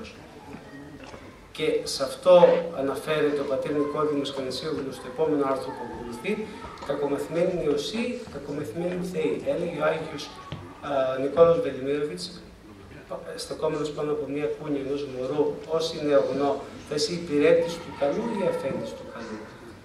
Είναι ο τρόπος με τον οποίο το αποτέλεσμα είναι αυτό το, το νεογνών θα είναι υπηρέτης του κακού ή αφέντης του κακού, είναι ο τρόπος με τον οποίο θα μεγαλώσει το παιδί μέσα στην οικογένεια. Ο πατήρ Γιώργος Γαλωτής με μία διτή, μάλλον τρεις ιδιότητες, οικογενειάρχης, ιερέας πνευματικός και δάσκαλος, σημειώνει ότι ακόμη και αυτή η σχολική επίδοση του παιδιού στο σχολείο είναι αποτέλεσμα της ισορροπίας που το παιδί βιώνει μέσα στην οικογένεια. Και γι' αυτό λέει ότι ο ένας δάσκαλος μπορεί να διακρίνει τα τάλαντα που έχει κάθε παιδί και δεν υπάρχει άνθρωπος που ο Θεός να μην του έχει χαρίσει λίγα ή περισσότερα τάλαντα. Μπορεί να τα διακρίνει ο δάσκαλος, αλλά τι γίνεται όταν οι γονείς δεν είναι πια αγαπημένοι και μαλώνουν συνεχώς και στη συνέχεια χωρίζουν εκεί, όλα μπορούν να τελειώσουν ακόμη και για τον καλύτερο μαθητή. Καθώς η δύναμη του μαθητή δεν είναι μόνο το μυαλό του, αλλά και η ψυχική του διάθεση. Ένα πολύ δύσκολο κεφάλαιο είναι το πρώτο τελευταίο του βιβλίου, αναφέρεται στα, σε ένα παιδί με αναπηρία και το πώς στέκεται η οικογένεια αυτή θα προκύψει κάτι τέτοιο. Η γέννηση ή η ύπαρξη ενός παιδιού με αναπηρία αποτελεί μια πολύ μεγάλη δοκιμασία και ταυτόχρονα μια επιπλέον πρόκληση για ολόκληρη την οικογένεια. Και εδώ πρέπει να σημειώσουμε το ότι για μια ακόμη φορά η Εκκλησία πάντοτε και σε αυτό το σημείο πρωτοστατεί στο να βοηθήσει και να στηρίξει, ουσιαστικά να στηρίξει και τους γονείς και τα παιδιά που έχουν αυτές τις ιδιαιτερότητες. Και τέλος, το βιβλίο ολοκληρώνεται με ένα γεγονός το οποίο είναι αναπόφευκτο για τη ζωή μας, την παρούσα ζωή μας, γιατί όπως λέει και ο Παύλος Παύλος που έχουμε μένει απόλυτα, το θάνατο, τον οποίο το παιδί τον αντιμετωπίζει είτε το ίδιο ως μια βαριά κατάσταση υγείας που μπορεί να αντιμετωπίσει, είτε ως θάνατο ενός προσφυλούς, ενός δικού του ανθρώπου, του πατέρα ή τη μητέρα, το παιδί σε όποια ηλικία να είναι θρηνεί. Και θρηνεί με διαφορετικό τρόπο, ανάλογα με το στάδιο της ηλικίας. Η οικογένεια οφείλει να σεβαστεί το παιδί και να του δώσει και τις διεξόδους σε αυτό το θρήνο του και στον τρόπο με τον οποίο μπορεί να αντιμετωπίσει τον θάνατο ως, όχι, ως ένα σημείο στο οποίο οδηγεί στη μετάβαση σε μια άλλη άλλη πραγματικότητα και σε μια άλλη ζωή. Ευχαριστούμε πολύ για την προσοχή σας.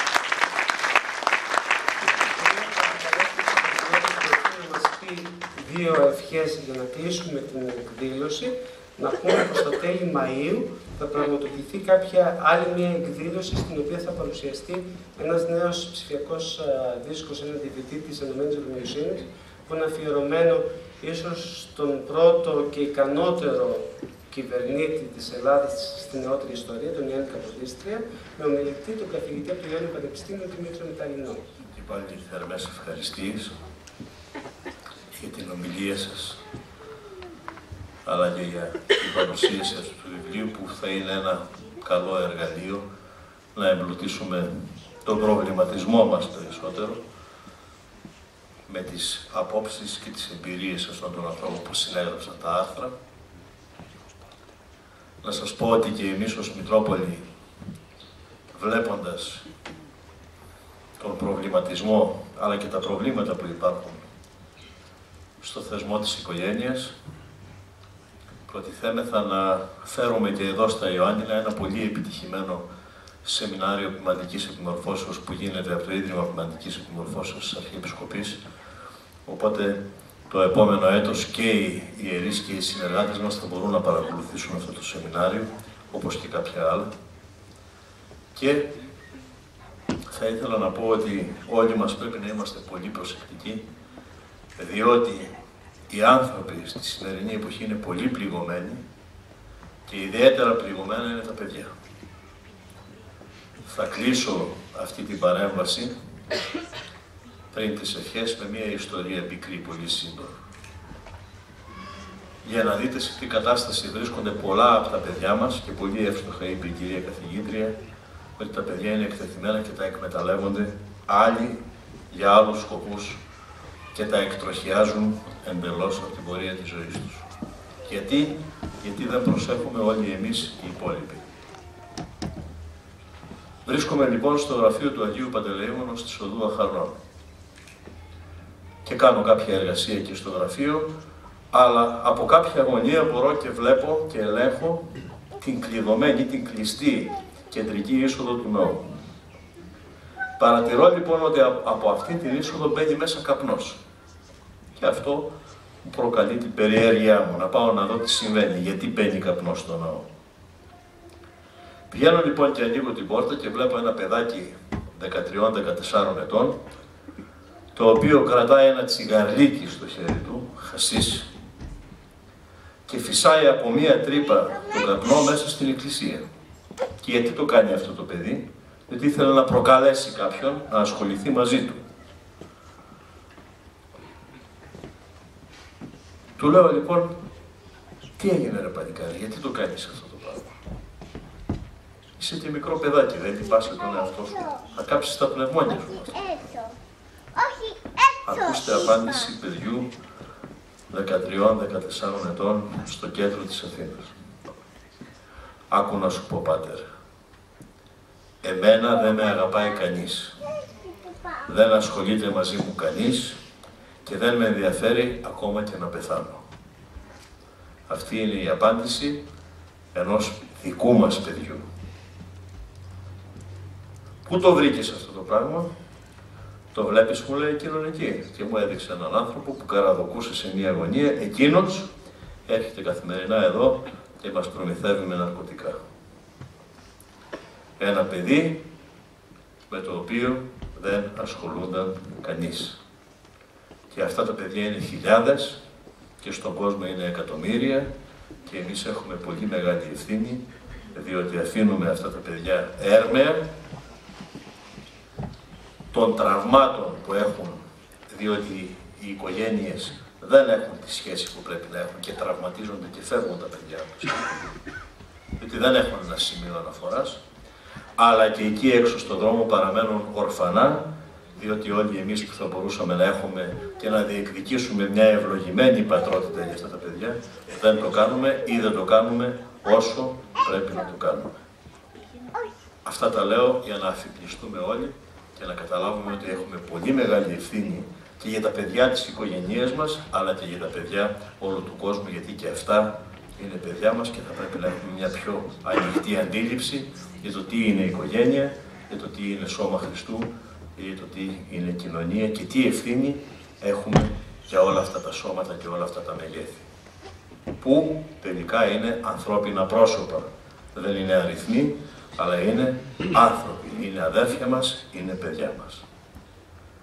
Να σας ευχαριστήσω λοιπόν και πάλι για αυτή την διοργάνωση, για αυτή την ωραία πνευματική εκδήλωση και να ευχηθώ καλή επιτυχία στους ωραίους σκοπούς που αφορούν τον ελληνισμό και τη ρωμιοσύνη που αφορούν τις παραδόσεις και την πνευματικότητά μας και τελικά την δική μας κατάσταση και τη δική μας κοινωνία και επικοινωνία.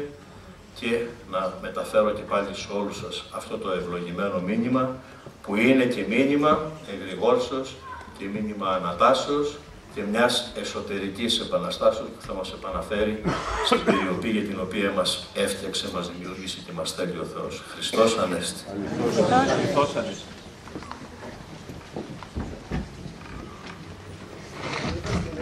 Πεπεσμένο στο οποίο θα, θα πάρετε την ευχή του και θα πάρετε και ένα αντίτυπο από το βιβλίο το οποίο κυκλοφορεί. Επίσης, να σας πω πως στις 3 Μαου θα γίνει μια εκδήλωση της σειράς Λάβρα του Αγίου Σάβα στην Αθήνα, στην οποία θα έχουμε μια παρουσίαση του μέλλον μουσικής ένα, ε, μια ποιητική απόδοση των εξοχιών των Αγίων που δράσαν και ζήσαν και σκητεύσαν στην ζωή του Αγίου Σάβα. Θα φύγει η λεωφορεία από την Κόνισσα και τα Γιάννηνα, γιατί η ποινή συμμετοχής είναι 25 ευρώ πήγαινε έλα, 25 ευρώ, πληροφορίες στον κύριο Διαμάντη από το κινητό του